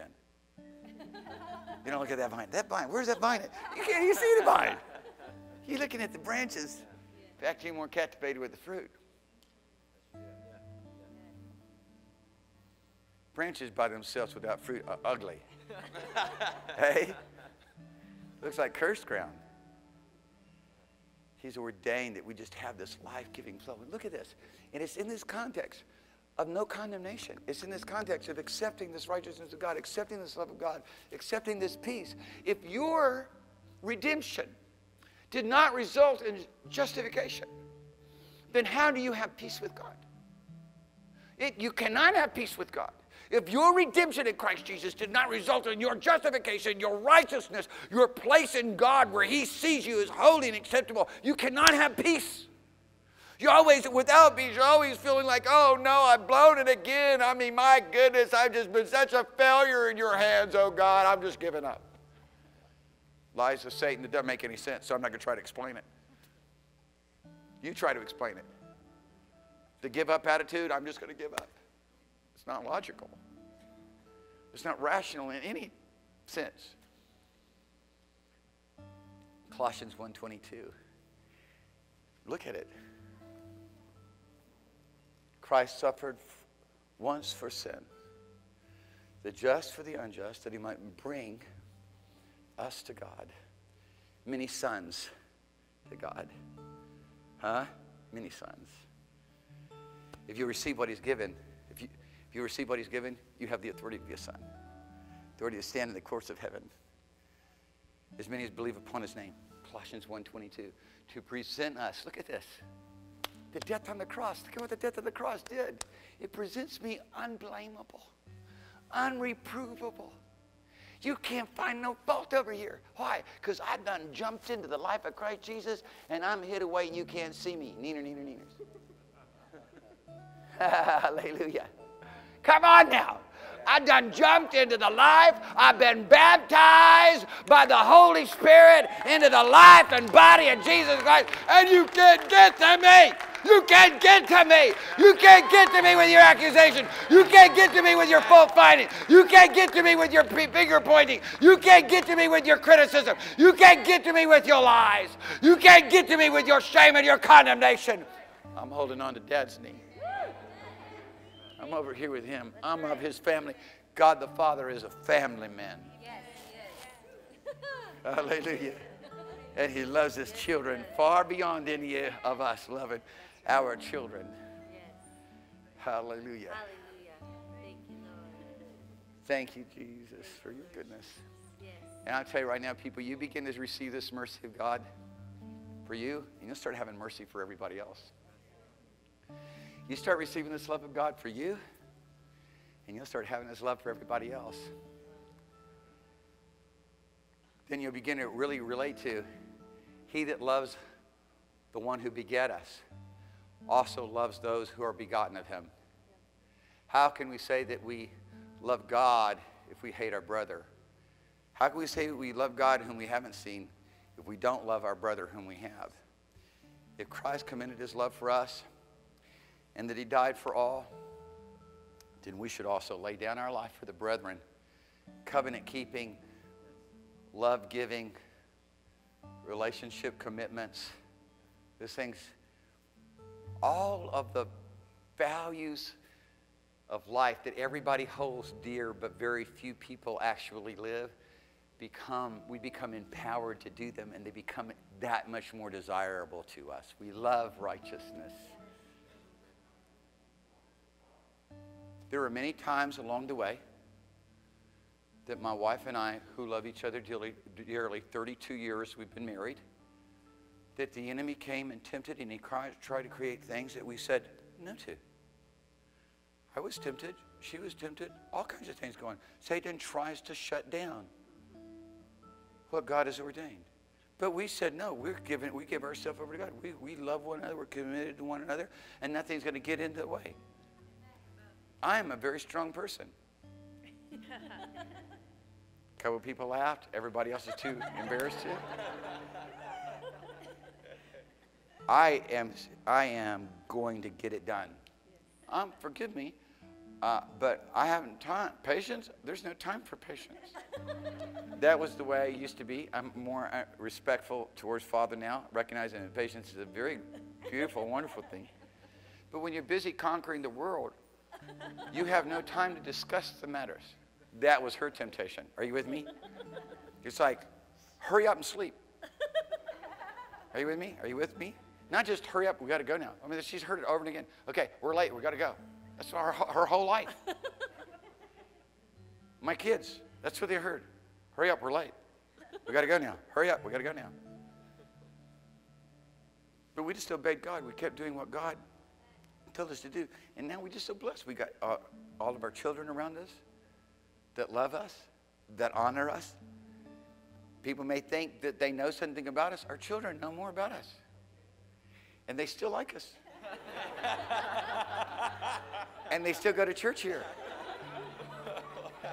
And if we were messed up bad people living something different than what we were speaking, you know, they would be the first to detect that and respond to that. And that's where a lot of people lose their kids. And now we got grandchildren. The latest one, Z, John Samuel's coming. Naomi, Anna, extended family, just this wonderful thing, just growing, it's just beautiful. Huh? It's just that, that which we would have never got to enjoy, the love we would have never got to enjoy if we would have listened to the lies and the things that are contrary to the Word of God and that which the Spirit of the Lord is leading us into. People, everything that God has said is for our own benefit, not for His. Huh? Sacrifices, He doesn't need them. They're for us, not for Him. They already belong to Him. Temple, I don't need you to build my temple for me. Heaven is my throne. The earth is my footstool. I don't need no house. I don't need no. I don't need no tokens of, of honor, or icons of worship. This is what I'm looking for. I'm looking for somebody who's real. This is what Father says. The prophet Isaiah. I'm looking for someone who's real. I'm, I'm looking for someone who's genuine. I'm not interested in no fake relationships. I'm just putting it modern day vernacular. Just common, ordinary, everyday relationship language. I'm looking for somebody who's in this for good, for keeps. Who's not thinking they know everything, but recognizes that the eternal God, the Almighty, the one who is from everlasting to everlasting, has all of his delights with the sons of men and wants a real relationship. One who's a man who's broken and contrite, who will tremble at my word. This is where I'll make my habitation. A person who can recognize that I'm God and that what I say is the only way that is going to result in us being blessed, in us having this good thing, and us having this love where no hate's there, uh, of us having this life and no death's there. Huh? Come on, that's what he's saying. Of us having this peace and no condemnation is there. He's just telling them, this is it. This is it. There's no other way. There was no God formed before me, and there will not be no God formed after me.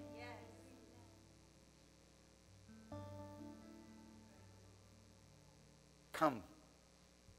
He just invite, he invites us, come, enjoy this with me. And our response is, Lord, you are just amazing. I have never felt a manifest presence of God complaining.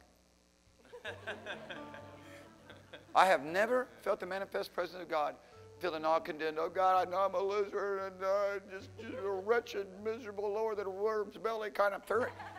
and he feeling the manifest presence of God. But when I begin to thank Him for His love and for His goodness and for His keeping power and all that He's done for me, and ha, ha,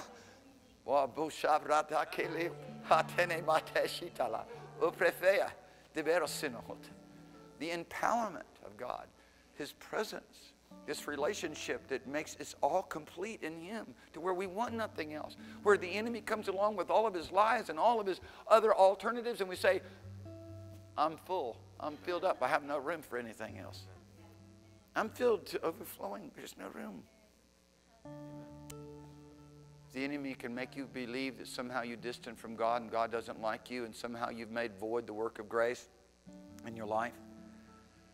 Then I'm telling you right now, you're going to find yourself not being able to be more than a conqueror. You're not going to find yourself being able to be victorious. You're not going to be able to find yourself being an overcomer. You're not going to be able to find yourself being complete in Him. But when you find all that you have need of in Jesus and Jesus alone, when you find that you are the righteousness of God, that you are holy with God's holiness. See, the Lord says, Be holy even as I'm holy. I'm not intimidated by that. He gave it to me, no problem. Huh? When He says, Be pure even as I'm pure, it's like, I'm not intimidated by that. I'm, no problem. He gave it to me. I have that in Him. Hey, when he says walk even as he walks, no problem. I can do that. I'm in him. I'm living in him. I'm existing in him. You know, God shows, shows up to Abraham. He says, I'm El Shaddai. Or in other words, I am God Almighty. Or I am the sovereign. I am the absolute sovereign. I decide, and that's the way it is. Walk before me and be perfect. Abraham wasn't intimidated. He was empowered. He was empowered. God's word empowers us. It doesn't intimidate us. It doesn't set a bar too high for anybody to achieve. It's an empowerment. It's an empowerment in the context of a love relationship where you're holy and acceptable, not trying to be holy and acceptable because you can never measure up, and that's one frustrating thing. Just never can please Him. Just never can reach, huh? Just never can reach the level of success that God has for me. God set the bar high. He set it real high. And satisfied and fulfilled it all in Christ Jesus. Who are you going to exist in? Who are you going to live in? Who are you going to, and when you do, when you do, I tell you, you're just going to start worshiping Him. You're going to say, God, you're so good. You're so amazing. You're so wonderful. I'm, my confession is, my confession is, I'm kept by the power of God through faith unto salvation, and I'm ready to be revealed. Hallelujah. Isn't that good? I mean, just live there. Just live there, man. Just stop, stop thinking about what you can do and think about what God has done. I've been privileged by the Lord to step into many miracles, many miracles of faith, gifts of faith at work. I mean, this property, you know, six acres and, you know, 80,000 square foot of building plus and all the pressure from the county that comes along with it. Just, just it's relationship. It's just faith. I've been privileged to be able to step in to this, to these realms of miraculous faith. And I just want you to understand, some of people, it's just all that. It's just all relationship. It's nothing else than just relationship. It's just looking to God. It's just saying, Father, I know you're able. I know you can do it. Yes. I'm here. I'm, I'm gonna stand here and faithfully serve you, Yes. worship you. Thank you for all that you've done and all that you've supplied. I pray, I'm asking you to do the same thing. That's all, people. I don't care who you are. When, my, when I got married, when I got married, when my wife and I got married, she had a car, I didn't. She had a bank account, I didn't. I had a guitar, she didn't.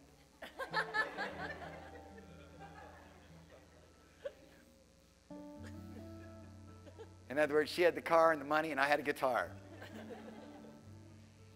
And we just walked with the Lord. And He's blessed us. And He's blessed us. Somebody said, How did how do you have all of these things? How did you how did you, how is this possible? It's a, none of it was anything that I did of my own self, nor did I deserve any of it. Nor did I try to get it.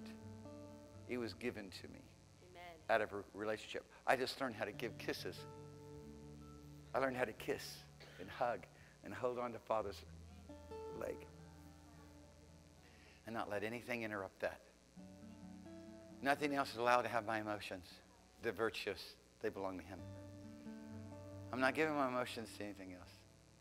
I'm not bowing my knee to let anything else have dominion over me or reign over me. I bow my knee only to Him. He's Savior, healer, keeper, provider.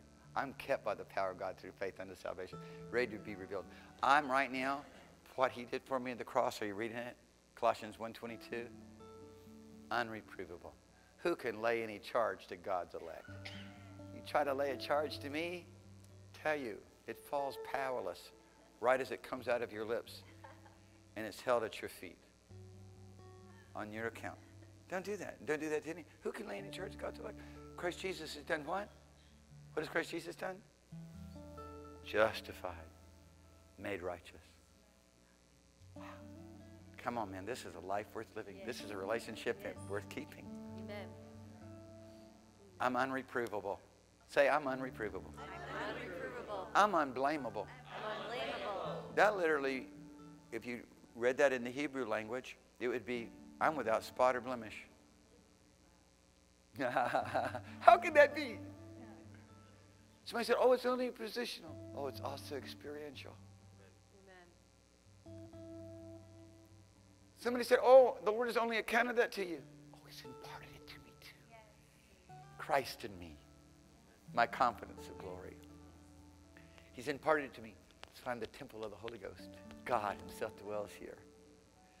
Father has come make His abode here. Did you know that? John chapter 14, verse 24. He says, just obey me. How is it that I obey Him? Obey what Christ Jesus has said and done. Obey me. Keep my word, Christ Jesus said. And my Father and me will come make our dwelling in you. Can you do that? Can you get that? Would you accept that? Will you just accept that? Will you receive that? If you'll receive it, if you'll receive it, you'll walk in the authority of sonship. If you receive it, if you're still having problems just receiving this unspeakable gift and agreeing and believing what God said, it's going to be it's going to be still that place of halting between two opinions, wavering back and forth. Just embrace it. Just embrace it. I want every one of you in this place right now, in the name of Jesus Christ of Nazareth, to embrace God's love. Wrap both arms around Him, lock your fingers together, and say, I'm here to stay. I'm not letting go. Lay hold on this eternal life. And the eternal life is Jesus Christ. The life was manifested, and we have seen and bear witness unto you that eternal life that was with the Father and was manifested to us, the personification of eternal life as Christ Jesus by the Apostle John, 1 John 1 1 through 3. Wow. Jesus, and so I come to him and I, now I can worship him. I'm not coming in based upon my success or my failure. And when I feel good about myself, oh, I'm really worshiping. And when I'm feeling bad about myself, I'm just all sad and bowing my knee to circumcision. No, no, no, no. I'm just coming to him. because of who he is and what he's done. I'm telling you, man. I want everybody, God says in this place, to receive the love of God, to know and believe the love that God has for you. God is love. He that dwells in love dwells in God. And here's how you can have boldness in the day of judgment. Because as He is, so are you, because you've received something called the life of God. This life poured out at Calvary's cross through the blood that was spilled, having bore our sins in His own body on a tree, imparted His life as a free gift to you and me. And He's looking at us earnestly and saying, Open up the present. Go ahead, open up the present. Go ahead. Don't say you're not deserving of it. Don't say you just open it up.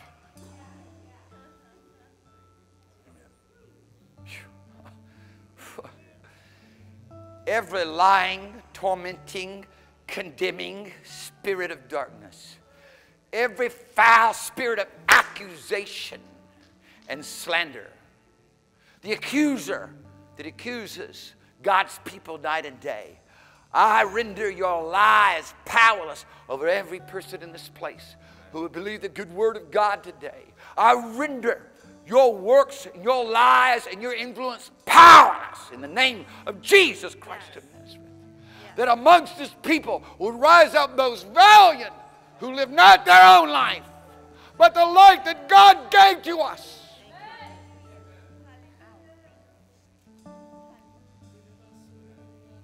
You accept this day, I am crucified with Christ, nevertheless I live. But not me, it's Christ who lives. And it's not something that you aspire to. It's not something that you gain. It's not something that you obtain through some acts of your own faithfulness. But it is the gift of God that is given to us that we may say, with the wonderful grace of God, I am crucified with Christ. I am buried with him by baptism into his death. I am raised up together with him. I live together with him. I am now seated together with him. It's all that which was imparted to me and gifted to me and accounted to me and supplied to me and it's yours. It's yours. It's yours. It belongs to you. It belongs. You grab a hold of it, it's yours because if you'll grab a hold of it, in grabbing a hold of it, you find the power of the life to live it. Amen. Amen. People try to think of, oh, I'm dead. Oh, I'm dead. You can't, you can't wrap your head around being dead. or I'm trying to die. I'm dying. What? No. God wants you to live. You can relate to living. I'm living. I'm living in Him. And now living in Him, I can look back and say, oh, I died, because you can't ever have a resurrection until you're dead. I died. I was buried. I try to understand how I'm going to die. You're never going to get there. You got to be alive. Dead person has nothing, has no consciousness, has no existence. It is only the living who can think who can interact, who can experience, who can grow, who can mature, who can come to understand, oh, by miracle of salvation, I died with, crucified with him, died there. By the miracle of salvation, I was buried with him. I was buried. Everything that he did, I was included in an experience and it's an event that has already taken place and is called salvation. Oh, that you would hear, that the eyes of your understanding would be open this day. You can begin to understand in, be included and experience the exceeding greatness of his power that was given to you. That you can begin to be included in and experience the exceeding greatness of his power.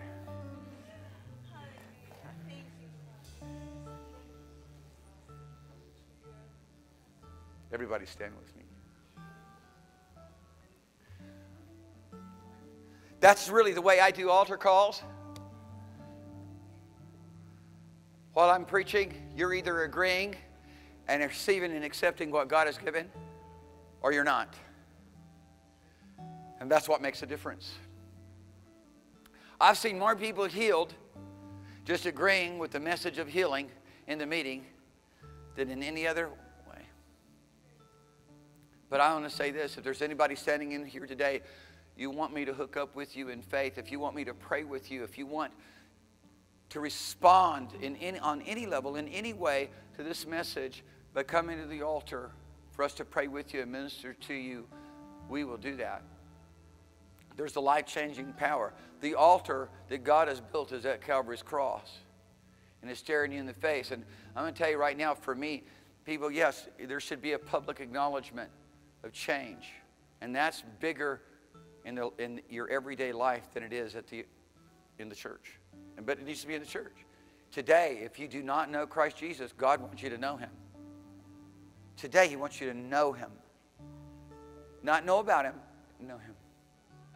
And the miracle of power to know him is present. The Lord doesn't want anyone leaving here sick and diseased and tormented. You just got to be willing to look to him and know that he's the healer and he's the deliverer.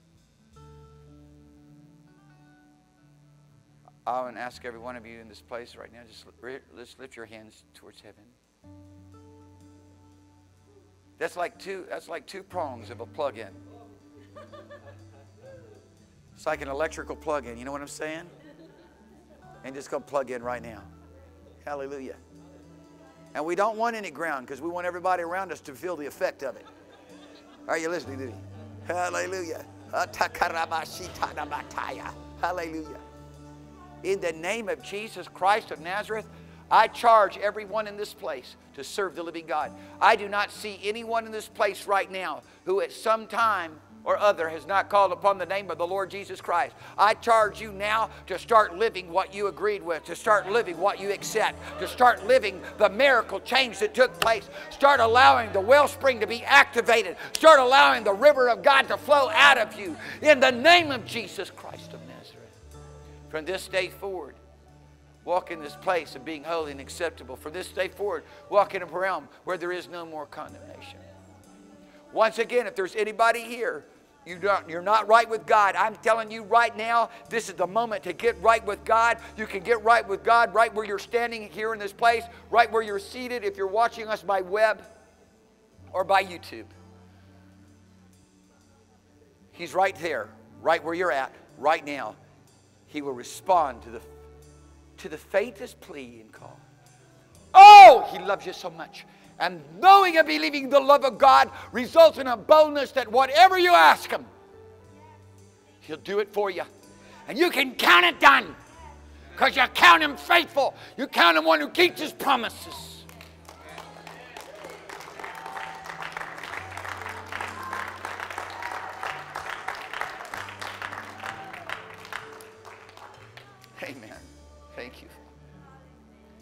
Anybody want prayer for anything? I want you to know that we're here to pray with you and for you. If whatever miracle you need, we know God will supply it. We get to be helpers of your faith. We can't rule over your faith, but we can help your faith because those things that the Lord has gifted us with and empowered us to do, I mean, freely we receive, freely we give it to you. So don't anyone ever think that we don't have time to pray with you and believe God and know that He's going to work a miracle for you. Thank you, Lord Jesus. Thank you, Lord Jesus. Thank you, Father. Well, find a bunch of people around you. Tell them that you love them. Bless them in Jesus' name. Worship the Lord with your tithes and with your offerings. And if you want prayer, you come. You want prayer, you come. Hallelujah.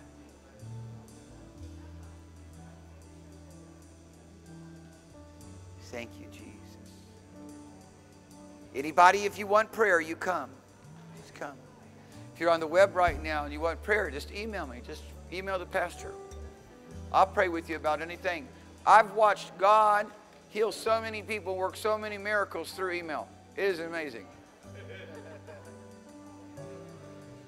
So it doesn't matter. You can text me. Some of you probably have a hard time doing that. Whatever.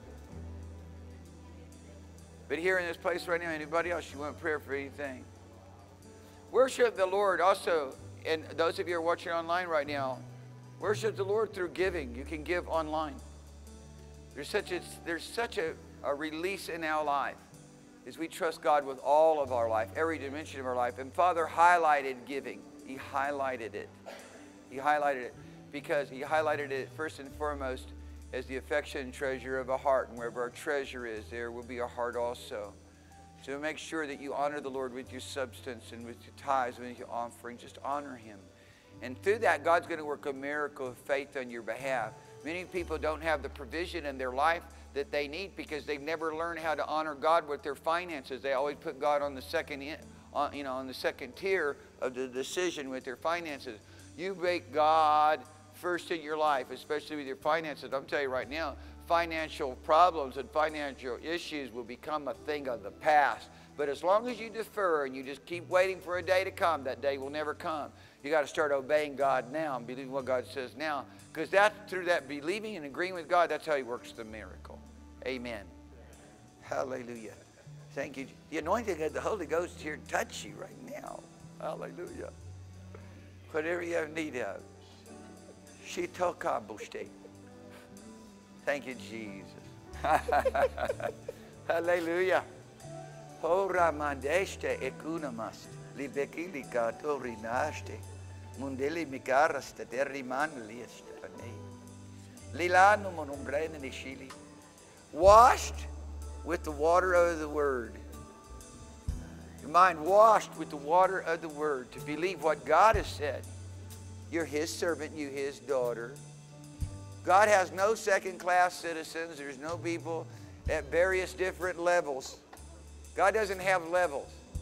There are dimensions to know the love of Christ, to know with all saints what is the height, the breadth, the length, the depth. See, those are dimensions, not levels.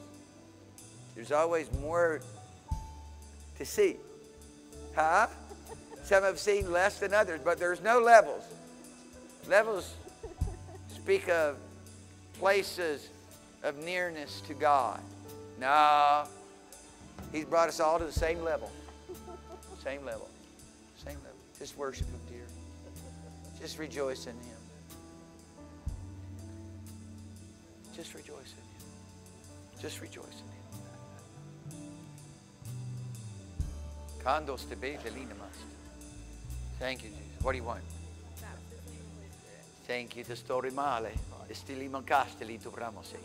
Now, in the name of Jesus Christ of Nazareth, just receive. Receive this wonderful work of grace. Receive. just receive. Risamandele esti perinandele cast. Borandele le vesti de namaya. And amangele castele ne mekaranamaya. Right out of your belly begins to flow the strength of the issue of the living God. He gives you the tongue of the learned. That you may be able to speak the words of faith in those moments of time and in due season, even in the midst of crisis. Begins to become a fire in your belly and a fire in your mouth and a fire in your tongue and an expression like rivers of glory issuing forth from your life. Suzada eresuta ishilo rom neshikai doborusan blikaya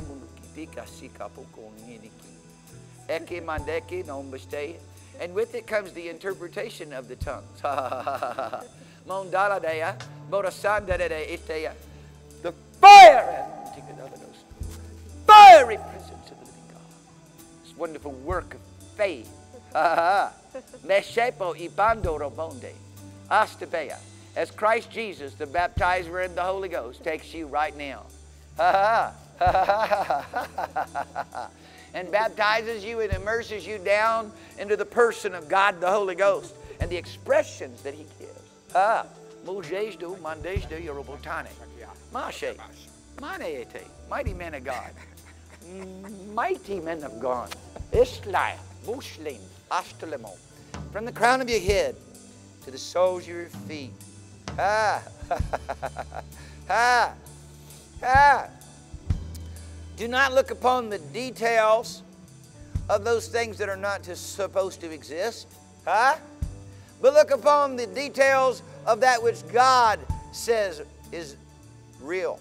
The details of that which God has spoken and declared. Nambroshaya. In other words, don't see the problem, see the answer.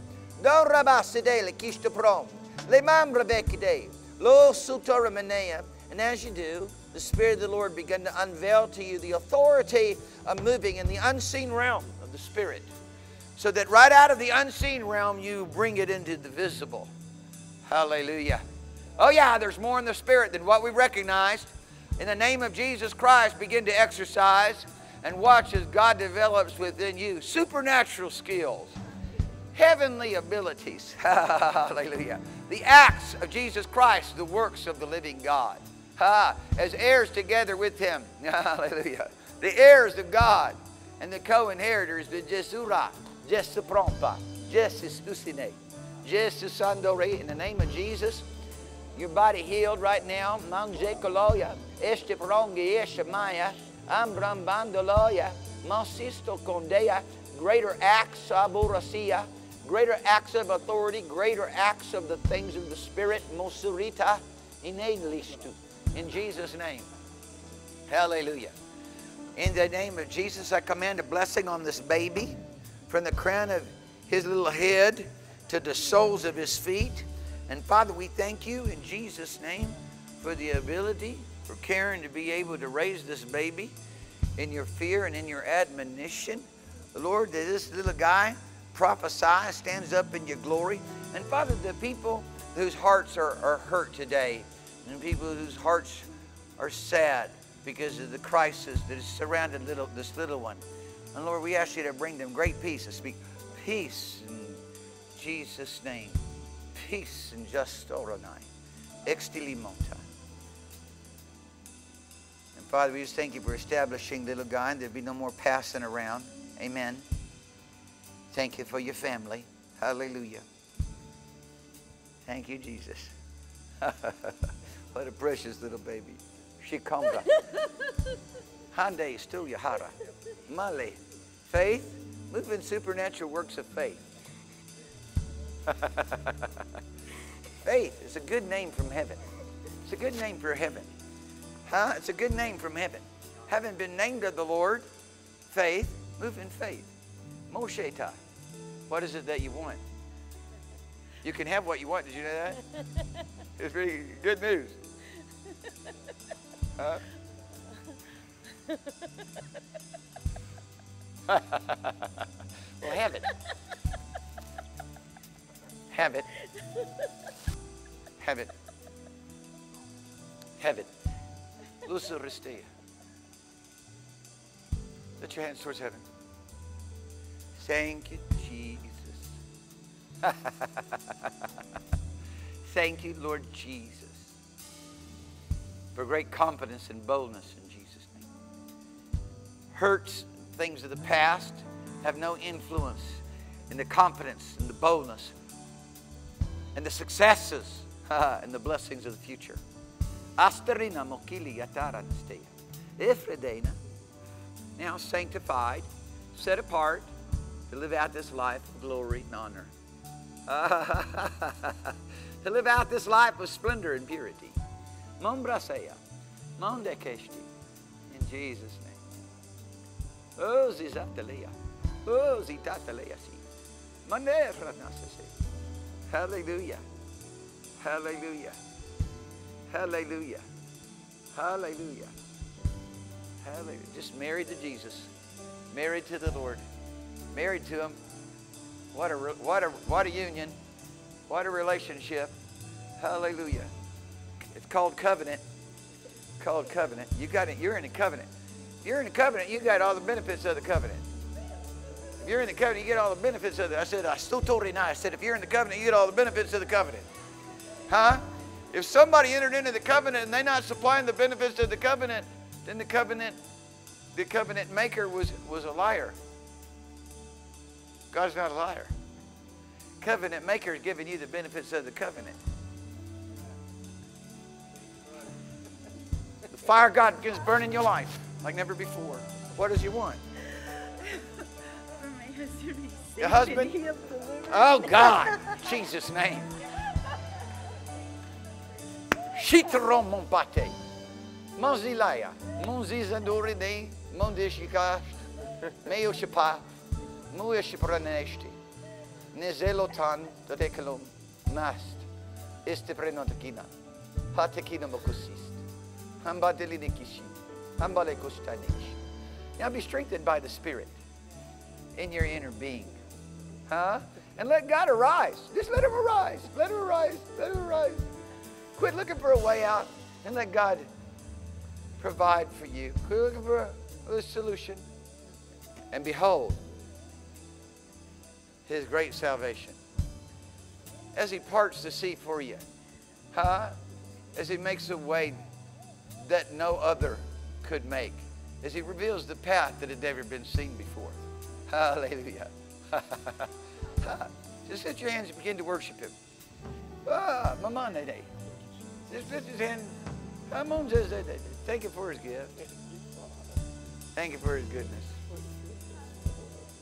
Thank you, Jesus. Hallelujah. Thank you, Jesus. Amen. Hallelujah. Overwhelmed by his presence.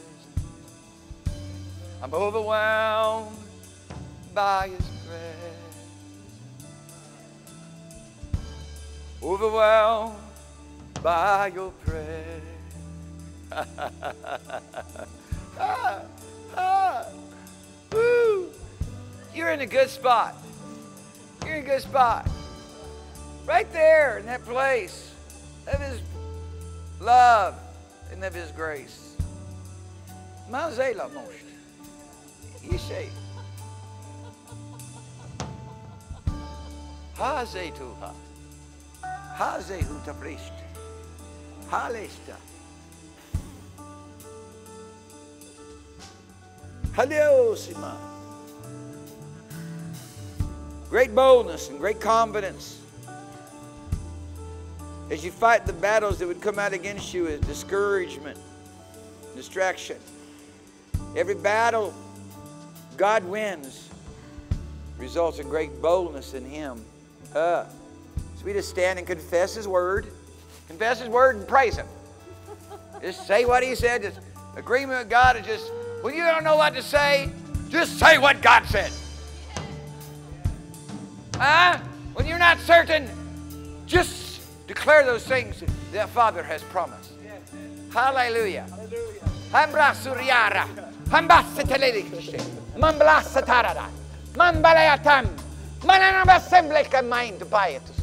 I made up my mind a long time ago that I would not walk in my own mind and understanding, but I would walk in the mind of Christ and the mind of the Spirit. And that's just simply saying what God said, believing what He says, speaking His word. Ah, lebositara. Malositaremo ukapaka. Ekekana ekesikatukuro kusina. Ara. Oh, man of God. Oh, rasata. Hey, increase more and more. Ayeshima eke ama asuko kikana kiki kanasi. Increase more and more. Ah, sipaloka paradea. Increase. I said increase. I said increase. Akara moshitaya. Increase, increase, increase, and prosper. Irishamo, Isharama, Isheremoya, Arsaraman, Tetolomokupaha, Eshimonamo Situshikai, Eshimanakande, Katadalanama, Adatata Irapaha. Osi Asiya. Oh, increase more, Masia Tinimeshi. Oh, Remananishi. Hallelujah.